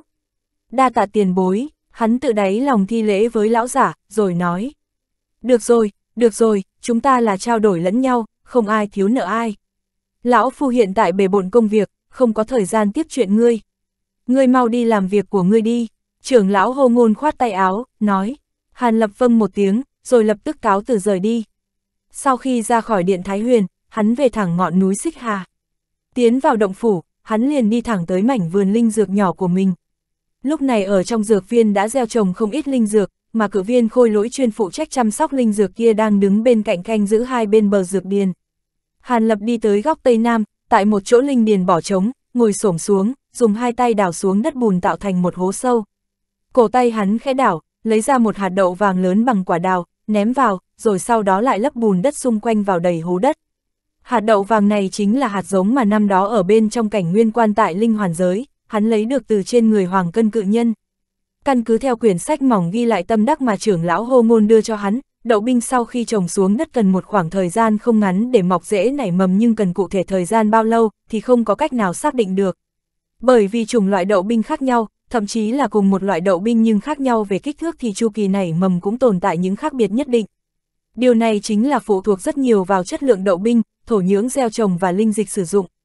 Đề cập tới linh dịch, thì linh dịch bên trong trường thiên bình của hắn có lẽ là sự chọn lựa tốt nhất rồi. Chỉ là trước kia vì muốn thúc giục linh dược nên đã sử dụng hết sạch linh dịch bên trong bình nhỏ. Hiện tại cũng chỉ có thể chờ linh dịch được ngưng kết tiếp, mới có thể nhỏ lên. Sau khi gieo trồng xong, Hàn Lập lại nhìn mấy lần về phía các linh dược khác ở bên cạnh được cử viên khôi lỗi chăm sóc thì thấy có vài cây đã tiếp cận 5 vạn năm tuổi. Những linh dược này đã đến tuổi có thể dùng nhưng trên tay hắn lại không có đan phương thích hợp. Trong tông tuy có thu thập đan phương, nhưng luyện chế đan dược vốn là quá trình cần làm nhiều cho quen tay. Mà đan dược có ích cho việc tinh tiến tu vi của chân tiên cảnh thì luyện chế khẳng định không dễ. Với tạo nghệ luyện đan của chính hắn thì dù có thể thử nhưng cũng không tránh được phải trải qua mấy lần thất bại, mới có thể thật sự luyện chế ra được. Với linh thạch và tiên nguyên thạch hiện tại có trong tay dù hắn cũng được coi là có chút thân gia so với chân tiên cùng cấp nhưng một khi bắt đầu luyện chế đan dược thì chỉ sợ thật sự chưa đủ. Trên người hắn hiện tại lại có không ít các loại pháp bảo linh tài cấp thấp, tiếp theo cần phải tính toán chu đáo như thế nào để bán đi từng loại, cố gắng chuẩn bị thật ổn thỏa cho việc luyện đan. Tuy nhiên trước đó, còn có vài việc cần phải nhanh chóng xử lý. Vừa đi vừa cân nhắc thì hắn đã về tới mật thất. Sau khi khoanh chân ngồi xuống, Hàn lập lật tay một cái, một vòng tay chữ vật tinh xảo xuất hiện trong lòng bàn tay. Hắn đánh ra một đạo pháp quyết thì một đống đồ vật lớn, đủ mọi màu sắc xuất hiện trước người. Vòng tay chữ vật này là vật đoạt được trên người lão giả chân tiên không rõ thân phận xuất hiện bên trong dãy núi huyền băng. Lại nói tiếp, lão nhân không biết lai lịch này dường như lại biết một ít tin tức về chỗ hạ lạc của lão tổ tiểu nha đầu Bạch Tố Viện.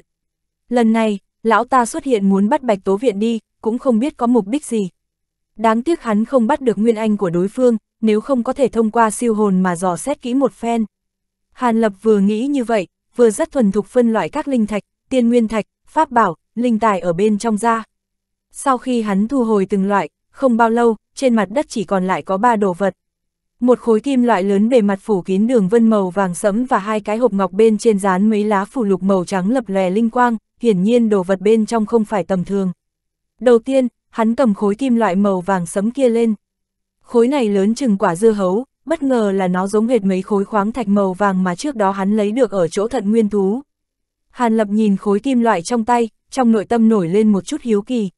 Khối kim loại mà thận nguyên thú cất chứa và khối kim loại ở bên trong pháp khí chữ vật của lão giả chân tiên có thân phận không rõ ràng này xem ra chắc là chúng có công dụng đặc biệt gì. Sau một phen suy tính, hắn lật tay thu khối kim loại vào. Lúc trước hắn cũng không để ý quá mức đến vật này, hiện tại xem ra cần bỏ thời gian tìm người giám định một chút, nhận biết xem khối kim loại này rốt cuộc là thứ gì. Tiếp theo Hàn Lập cầm một hộp ngọc lên, trong tay tỏa ra thanh quang rực rỡ hướng lên mặt phù lục. Những phù lục màu trắng kia tựa hồ cảm thấy uy hiếp, chúng liền tỏa ra bạch quang chói mắt, nhằm ngăn cản động tác của hắn. Hàn Lập cười lạnh một tiếng, cong ngón tay, búng ra. Mấy tia kiếm khí màu xanh bắn ra, lập tức lóe lên, hóa thành mấy sợi kiếm mỏng quấn chặt lấy phù lục màu trắng, mạnh mẽ xoắn một phát. Một tiếng xoẹt, phù lục màu trắng bị cắt thành mấy mảnh, mất hết linh tính. Hắn cười nhạt, mở hộp ngọc ra, bên trong là một lệnh bài màu trắng, lớn cỡ lòng bài tay, ngoại hình tương đối đặc biệt, tương đối dài mảnh, hơn nữa cũng không hề tinh tế, phảng phất như là một vật do một chú nhóc con tùy ý đánh bóng một miếng ngọc thạch nào đó mà thành. Hàn Lập thò tay cầm lệnh bài, đưa lên trước mắt, cẩn thận đánh giá. Vật liệu của lệnh bài sáng long lanh, mặt ngoài hiện ra một tầng sáng trong suốt dịu dịu, là tuyệt vật phi phàm. Hắn cũng không nhận ra là vật liệu gì, tuy nhiên, vật này đã được cất giữ thận trọng như thế, khẳng định không phải tầm thường. Nhưng mà hắn dùng vài loại thủ pháp bí thuật dò xét trong ngoài lệnh bài một lượt, đáng tiếc lại không phát hiện được gì. Hắn lắc đầu, thả lệnh bài màu trắng vào lại hộp ngọc, lật tay thu vào. Đã không biết rõ lắm thì tính sau vậy. Cuối cùng, Hàn Lập cầm cái hộp ngọc còn lại lên, đồng dạng thi pháp phá giải phù lục phong ấn ở bên ngoài. Trong hộp ngọc là một quyển sách hố vàng, thoạt nhìn đã cực kỳ cũ kỹ, trang sách tựa hồ là dùng da của con thú nào đó chế thành. Hàn Lập cầm lấy quyển sách, lật vài trang nhìn qua một chút thì lắc đầu. Hắn gập quyển sách lại, thả vào bên trong hộp ngọc. Quyển sách này không có bìa, không biết cụ thể tên sách, nhưng xem nội dung ghi bên trong thì dường như là một bộ điển tịch có nội dung liên quan đến luyện khí, ghi chép lại không ít thuật luyện chế và cường hóa pháp bảo nhưng ở trình độ cao hơn. Hiện tại, hắn có rất nhiều việc phải xử lý, chờ sau này nếu rảnh rỗi thì nghiên cứu. Hàn Lập cũng thu hộp ngọc này vào, một tay kết pháp quyết. Trọng thủy chân luân hiện ra, lơ lửng trước người. Hai mắt hắn chấp động lam quang, dò xét, rồi xuất ra một chiêu, một ít vòng trọng thủy từ trong túi chân thủy bay ra, từ từ trôi về phía chân luân màu đen.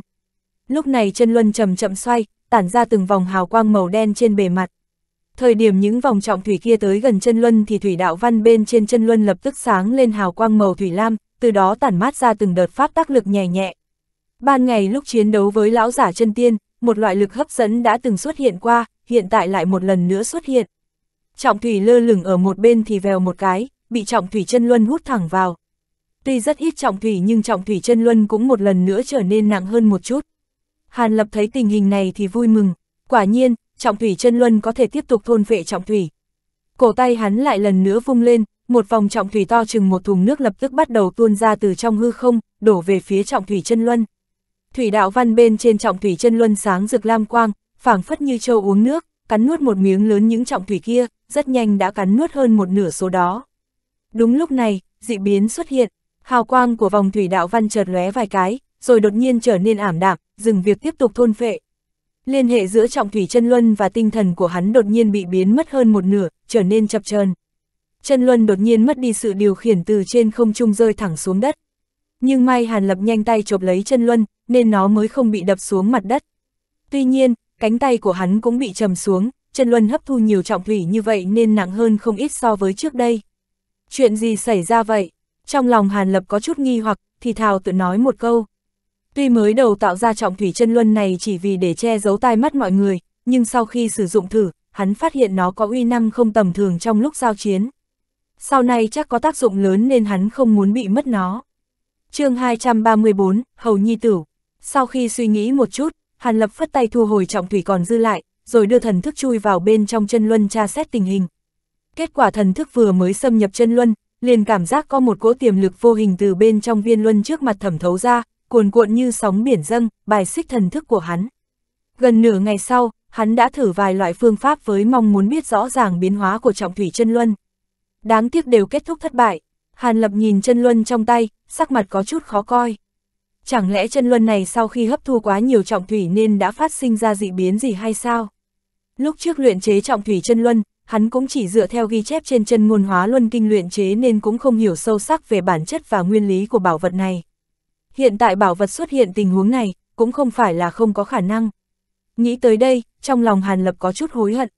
Nhưng việc đã đến nước này, hối hận cũng không có tác dụng, phải nghĩ biện pháp sửa chữa mới được vì hắn cũng không có nhiều tinh lực và tài nguyên để luyện chế lại một chân luân khác. Hắn nhìn chân luân trong tay vẫn còn một chút liên hệ với tâm thần, liền để chân luân sát vào chỗ đan điền, toàn lực thúc giục điểm liên hệ này. Ông, trên trọng thủy chân luân lóe ra một tầng hào quang màu đen, rồi chui vào trong đan điền của hắn. Nó lại yên tĩnh như trước, ở lại trong đó. Trong lòng Hàn Lập khẽ động, bảo vật này nếu như còn có thể thu vào đan điền, tức là còn chưa hoàn toàn mất đi. Hắn ngồi ngay ngắn, toàn lực vận chuyển công pháp, tiên linh lực trong đan điền bao trùm trọng thủy chân luân. Nguyên Anh cũng phun ra từng luồng anh hỏa, bao phủ trọng thủy chân luân rồi từ từ thiêu đốt. Thủy pháp tác trên trọng thủy chân luân hơi sáng lên, rồi lập tức lóe một cái, chân luân bắt đầu chậm chậm chuyển động. Trong mắt Hàn Lập lóe lên tia vui mừng, hắn nhắm mắt lại, tiếp tục vận chuyển công pháp. Thời gian từng ngày trôi qua, trong nháy mắt đã qua một tháng. Hắn mở to mắt, vung cánh tay lên, hắc quang lóe lên, trọng thủy chân luân hiện ra, lơ lửng trên không trung, xoay tròn, đã khôi phục sự linh hoạt trước kia. Không chỉ có như thế, màu sắc thủy đạo văn phía trên tựa hồ còn đậm hơn một chút. Trong khi chân luân chuyển động, từng cỗ man lực tỏa ra, khiến cho hư không chung quanh nhẹ nhàng rung lên. Hàn Lập thấy vậy, trong lòng cuối cùng cũng thở hắt ra. Trọng thủy chân luân này nặng hơn so với trước không ít, uy lực tựa hồ cũng theo đó mà gia tăng lên nhưng cũng không quá nhiều. Hắn vung tay lên, thu trọng thủy chân luân vào trong tay, nhẹ nhàng vuốt ve. Không ít người bên trong trúc long đạo tu luyện chân ngôn hóa luân kinh, nhưng kiểu tình huống ngụy Bảo Luân có thể thôn phệ tài liệu luyện chế như thế này thì hắn chưa từng nghe nói qua. Trọng thủy chân luân có thể như vậy, không biết là do nguyên nhân luyện chế lúc trước, hay là do tài liệu sử dụng. Nhưng mặc kệ là nguyên nhân gì cũng đều tốt cả. Giờ phút này hắn hồi tưởng tình huống trọng thủy chân luân lúc trước, giống như một người ăn thả cửa một món gì đó. Kết quả ăn quá nhiều, khiến dạ dày không chịu đựng nổi dẫn đến không thể nào tiêu hóa bình thường được. Ánh mắt hắn hiện ra vẻ thấp thỏm và chờ mong, hắn lần nữa tế trọng thủy chân luân lên không trung, sau đó vung tay lên. Một vòng trọng thủy lớn bằng đầu người hiện ra, nhích tới gần. Thủy đạo văn trên chân luân lần nữa sáng lên hào quang màu lam sắc, lập tức thôn vệ một miếng trọng thủy lớn, rất nhanh hấp thu hết một vòng trọng thủy. Hàn lập vỗ mạnh hai tay, trên mặt hiện ra vẻ vô cùng mừng rỡ, đã gỡ được một tảng đá lớn trong lòng. Điều này cơ bản có thể chứng minh, trọng thủy chân luân có thể tiếp tục hấp thu trọng thủy. Chỉ là mỗi một lần hấp thu trọng thủy, uy lực vòng này tăng lên không nhiều, nhưng mà nếu như tiếp tục thôn vệ quanh năm suốt tháng thì trọng thủy chân luân sẽ có thể tăng uy lực lên gấp 2, gấp mấy lần, thậm chí gấp 10 lần ý chứ. Trọng thủy chân luân vốn có uy lực không nhỏ, nếu tiếp tục tăng lên như vậy, chỉ sợ sẽ đạt tới tình trạng làm cho người ta kinh hãi. Mới nghĩ đến đây, trong lòng Hàn Lập cũng không khỏi có chút kích động.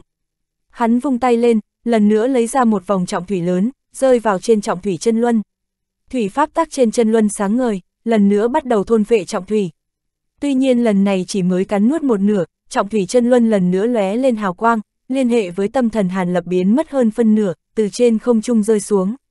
Hàn Lập thò tay bắt lấy, đã có hai lần trải nghiệm này, hắn đại khái đoán được mỗi lần trọng thủy chân luân hấp thu không chênh lệch lắm là một thùng trọng thủy. Hắn thu trọng thủy chân luân vào đan điền, lấy anh hỏa luyện hóa. Trong nháy mắt, thời gian hơn 2 năm trôi qua, đang nhắm mắt tĩnh tọa, chợt Hàn Lập mở to mắt, vung tay lên. Một tiếng vù, một đoàn hắc quang từ trong cơ thể hắn bắn ra, lơ lửng trước người. Đúng là trọng thủy chân luân đang chậm chậm chuyển động, ầm ầm ầm, hư không ở trong mật thất rung động lắc lư, không khí dao động, đánh vào vách tường, phát ra âm thanh ù ù như sấm rền. Hàn lập lộ ra vẻ tươi cười. Hơn hai năm qua, hắn một mực trong động phủ không ra ngoài, chuyên tâm để cho trọng thủy chân luân thôn vệ trọng thủy, đồng thời ngưng tụ tinh hạt truyền tống cho hóa thân địa trích. Sau hai mươi mấy lần hấp thu trọng thủy, uy lực của trọng thủy chân luân đã tăng lên tối thiểu gấp 3. Tuy nhiên, sau khi hấp thu nhiều trọng thủy như vậy, tốc độ chân luân hấp thu trọng thủy bắt đầu chậm lại, số lượng cũng giảm bớt. Tuy rằng còn có thể tiếp tục hấp thu, nhưng trực giác Hàn Lập cảm nhận rằng chân luân hấp thụ sắp đến cực hạn. Dù vậy, uy lực trọng thủy chân luân bây giờ cũng đã đến một trình độ vô cùng đáng sợ. Nghĩ tới đây, hắn lật tay thu hồi trọng thủy chân luân, rồi đi ra ngoài. ầm ầm, cửa lớn động phủ mở ra, Hàn Lập bước ra, một bóng người từ bên trong một căn phòng gần đó bước nhanh tới. Đúng là tôn bất chính, tựa hồ một mực chờ ở chỗ này. Tham kiến trưởng lão, tôn bất chính đi tới tham kiến, người ở nơi này chờ ta, là có chuyện gì? Hàn Lập hỏi, khởi bẩm trưởng lão, tất cả linh điền trong lãnh địa đã dọn dẹp xong toàn bộ. Đệ tử tới đây là muốn nhận lệnh, không biết trưởng lão định gieo trồng ở bên trong linh điền đằng kia loại linh thảo nào. Tôn bất chính cung kính hỏi, hạt giống đều ở bên trong đó, còn có cả phương pháp gieo trồng. Các ngươi cứ theo hướng dẫn trong đó mà làm là được. Hàn Lập gật đầu, lật tay lấy ra một cái túi chữ vật, giao cho tôn bất chính. Vâng, tôn bất chính nhận túi chữ vật, rồi lui xuống. Hàn Lập đi về phía trước vài bước, nhìn xuống phía dưới. Xung quanh linh điền dưới núi có bố trí một ít trận pháp cấm chế, tản ra từng trận hào quang, bọn người mộng thiền thiền đang bận rộn ở bên trong linh điền. Trên không trung ngọn núi Xích Hà, con song thủ sư ưng đang bay lượn, không ngừng tuần tra. Hàn Lập âm thầm gật đầu, lãnh địa của hắn tuy rằng không nhiều người lắm, nhưng đến bây giờ cũng dần dần đi vào quỹ đạo, coi như là phát triển lên. Hắn cười cười, thân ảnh nhoáng một cái, biến mất vô tung. Ở một chỗ gần khu vực thác nước phía dưới ngọn núi Xích Hà, nhoáng một bóng người, hiện ra thân ảnh Hàn Lập. Trong lãnh địa, khí hậu ngày càng rét lạnh, khắp nơi đều là tuyết trắng. Dòng thác này hiện tại cũng đã bị đông kết hơn phân nửa, chỉ còn lại một phần ba lúc đầu. Cũng may linh khí của ngọn xích Hà nồng đậm, khắp thung lũng vẫn có cây xanh râm mát, nhiều loại hoa mọc khắp nơi. Hắn trà hai tay một cái, trọng thủy chân luân hiện ra, đang định thi pháp thúc dục. Chi, chi chi, một hồi tiếng kêu gần đó truyền đến. Hàn lập quay đầu nhìn lại, trên mặt lộ ra vẻ tươi cười, dừng tay. Chỉ thấy cách đó không xa ở bên trong khu rừng đào là một bầy khỉ đang chơi đùa, nhìn bộ dáng chúng đúng là bầy khỉ lần trước hắn đã gặp. Xích ảnh lóe lên, một con xích hầu to lớn từ trong rừng phóng ra, hạ xuống cách không xa Hàn Lập. Đó là con hầu vương. Hầu vương so với trước kia thì cao lớn và cường tráng hơn, lông khỉ quanh người đỏ rực như lửa, càng tuyệt đẹp. Trên thân hầu vương này tản mát ra một cỗ yêu khí dao động dù rất yếu ớt. Tốt, hiện tại coi như là ngươi đã tu thành tinh. Hàn Lập cười nói, chi, chi chi, trong mắt hầu vương màu đỏ toát ra vẻ cảm kích, nằm dạp trên mặt đất, cung kính quỷ gối trước Hàn Lập. Cả bầy khỉ kia cũng nhảy tới, không ngừng quỳ lại Hàn Lập.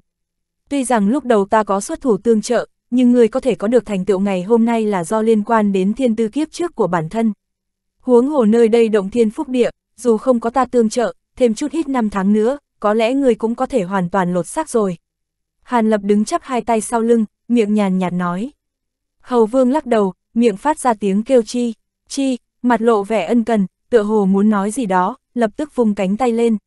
Một con khỉ từ trong bầy khỉ nhảy ra, cầm trong tay một cái hồ lô màu vàng, đặt trên mặt đất trước người Hàn Lập.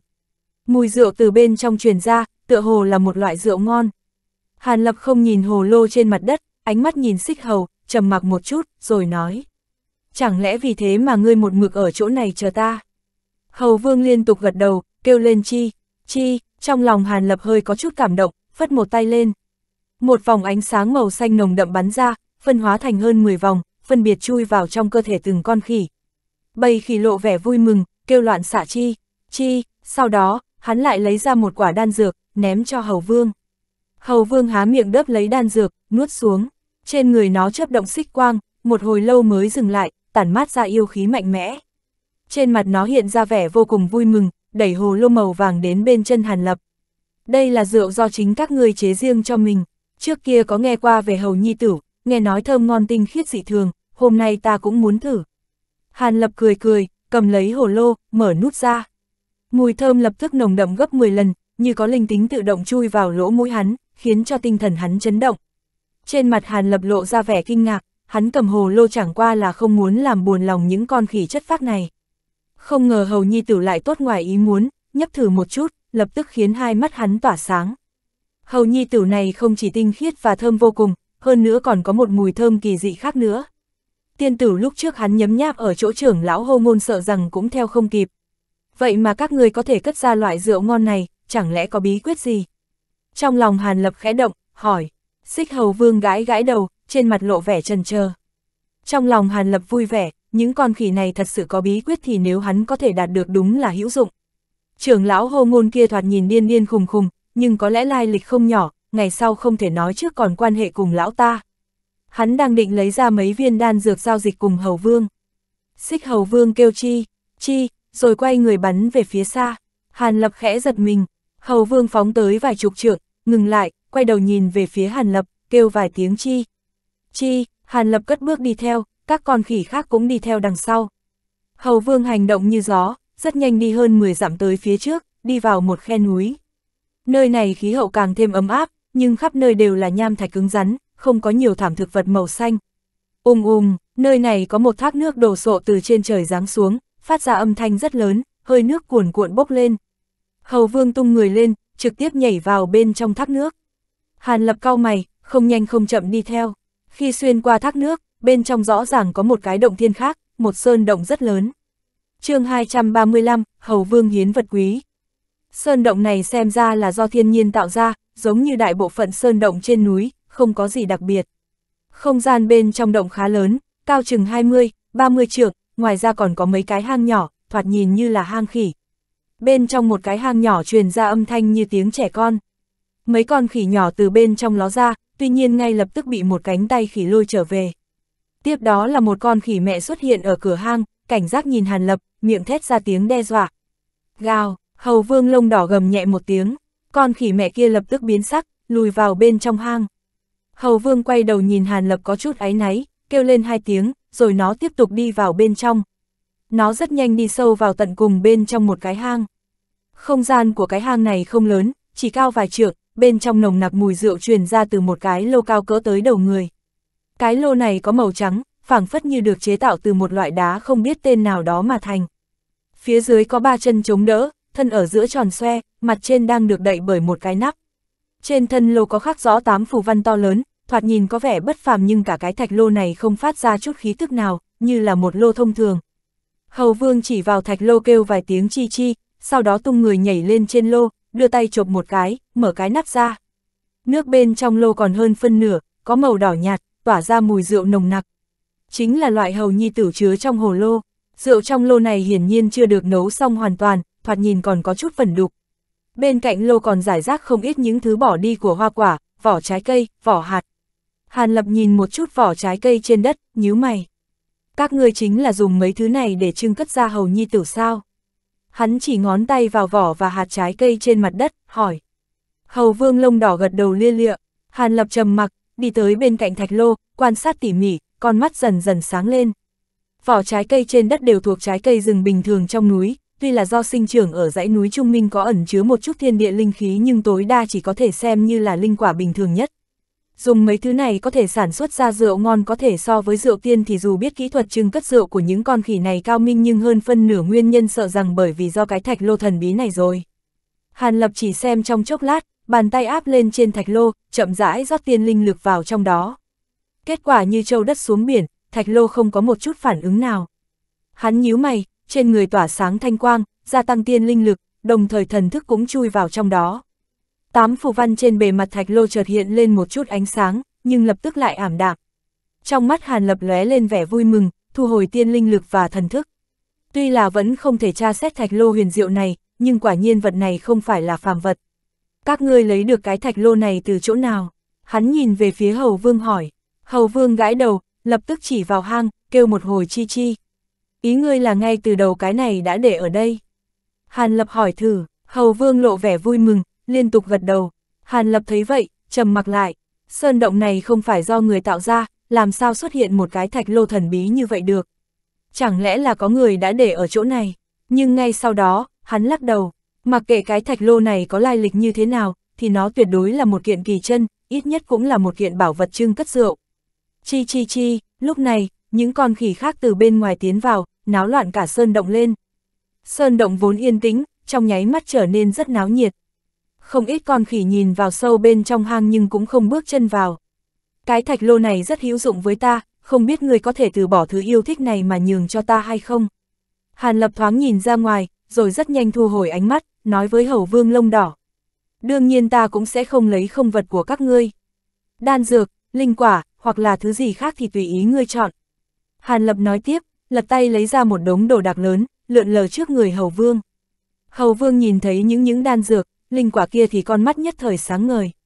Tuy nhiên, con khỉ này dằn lòng lại mà lắc đầu, dường như cố gắng thoát khỏi những thứ mê hoặc kia, chỉ tay về hướng ngọn núi xích hà ở phía xa, kêu lên chi chi. Hàn Lập thấy vậy, hơi trầm ngâm, nói, người muốn ta dẫn người đến sống ở ngọn núi xích hà. Hầu Vương gật đầu liên tục, lập tức nghĩ tới điều gì, lại chỉ vào bầy khỉ phía ngoài, một lần nữa kêu lên vài tiếng. Ngươi muốn ta đưa chúng cùng đi? Hàn Lập hỏi, Hầu Vương gật đầu, trong mắt hiện lên vẻ mong chờ, hy vọng.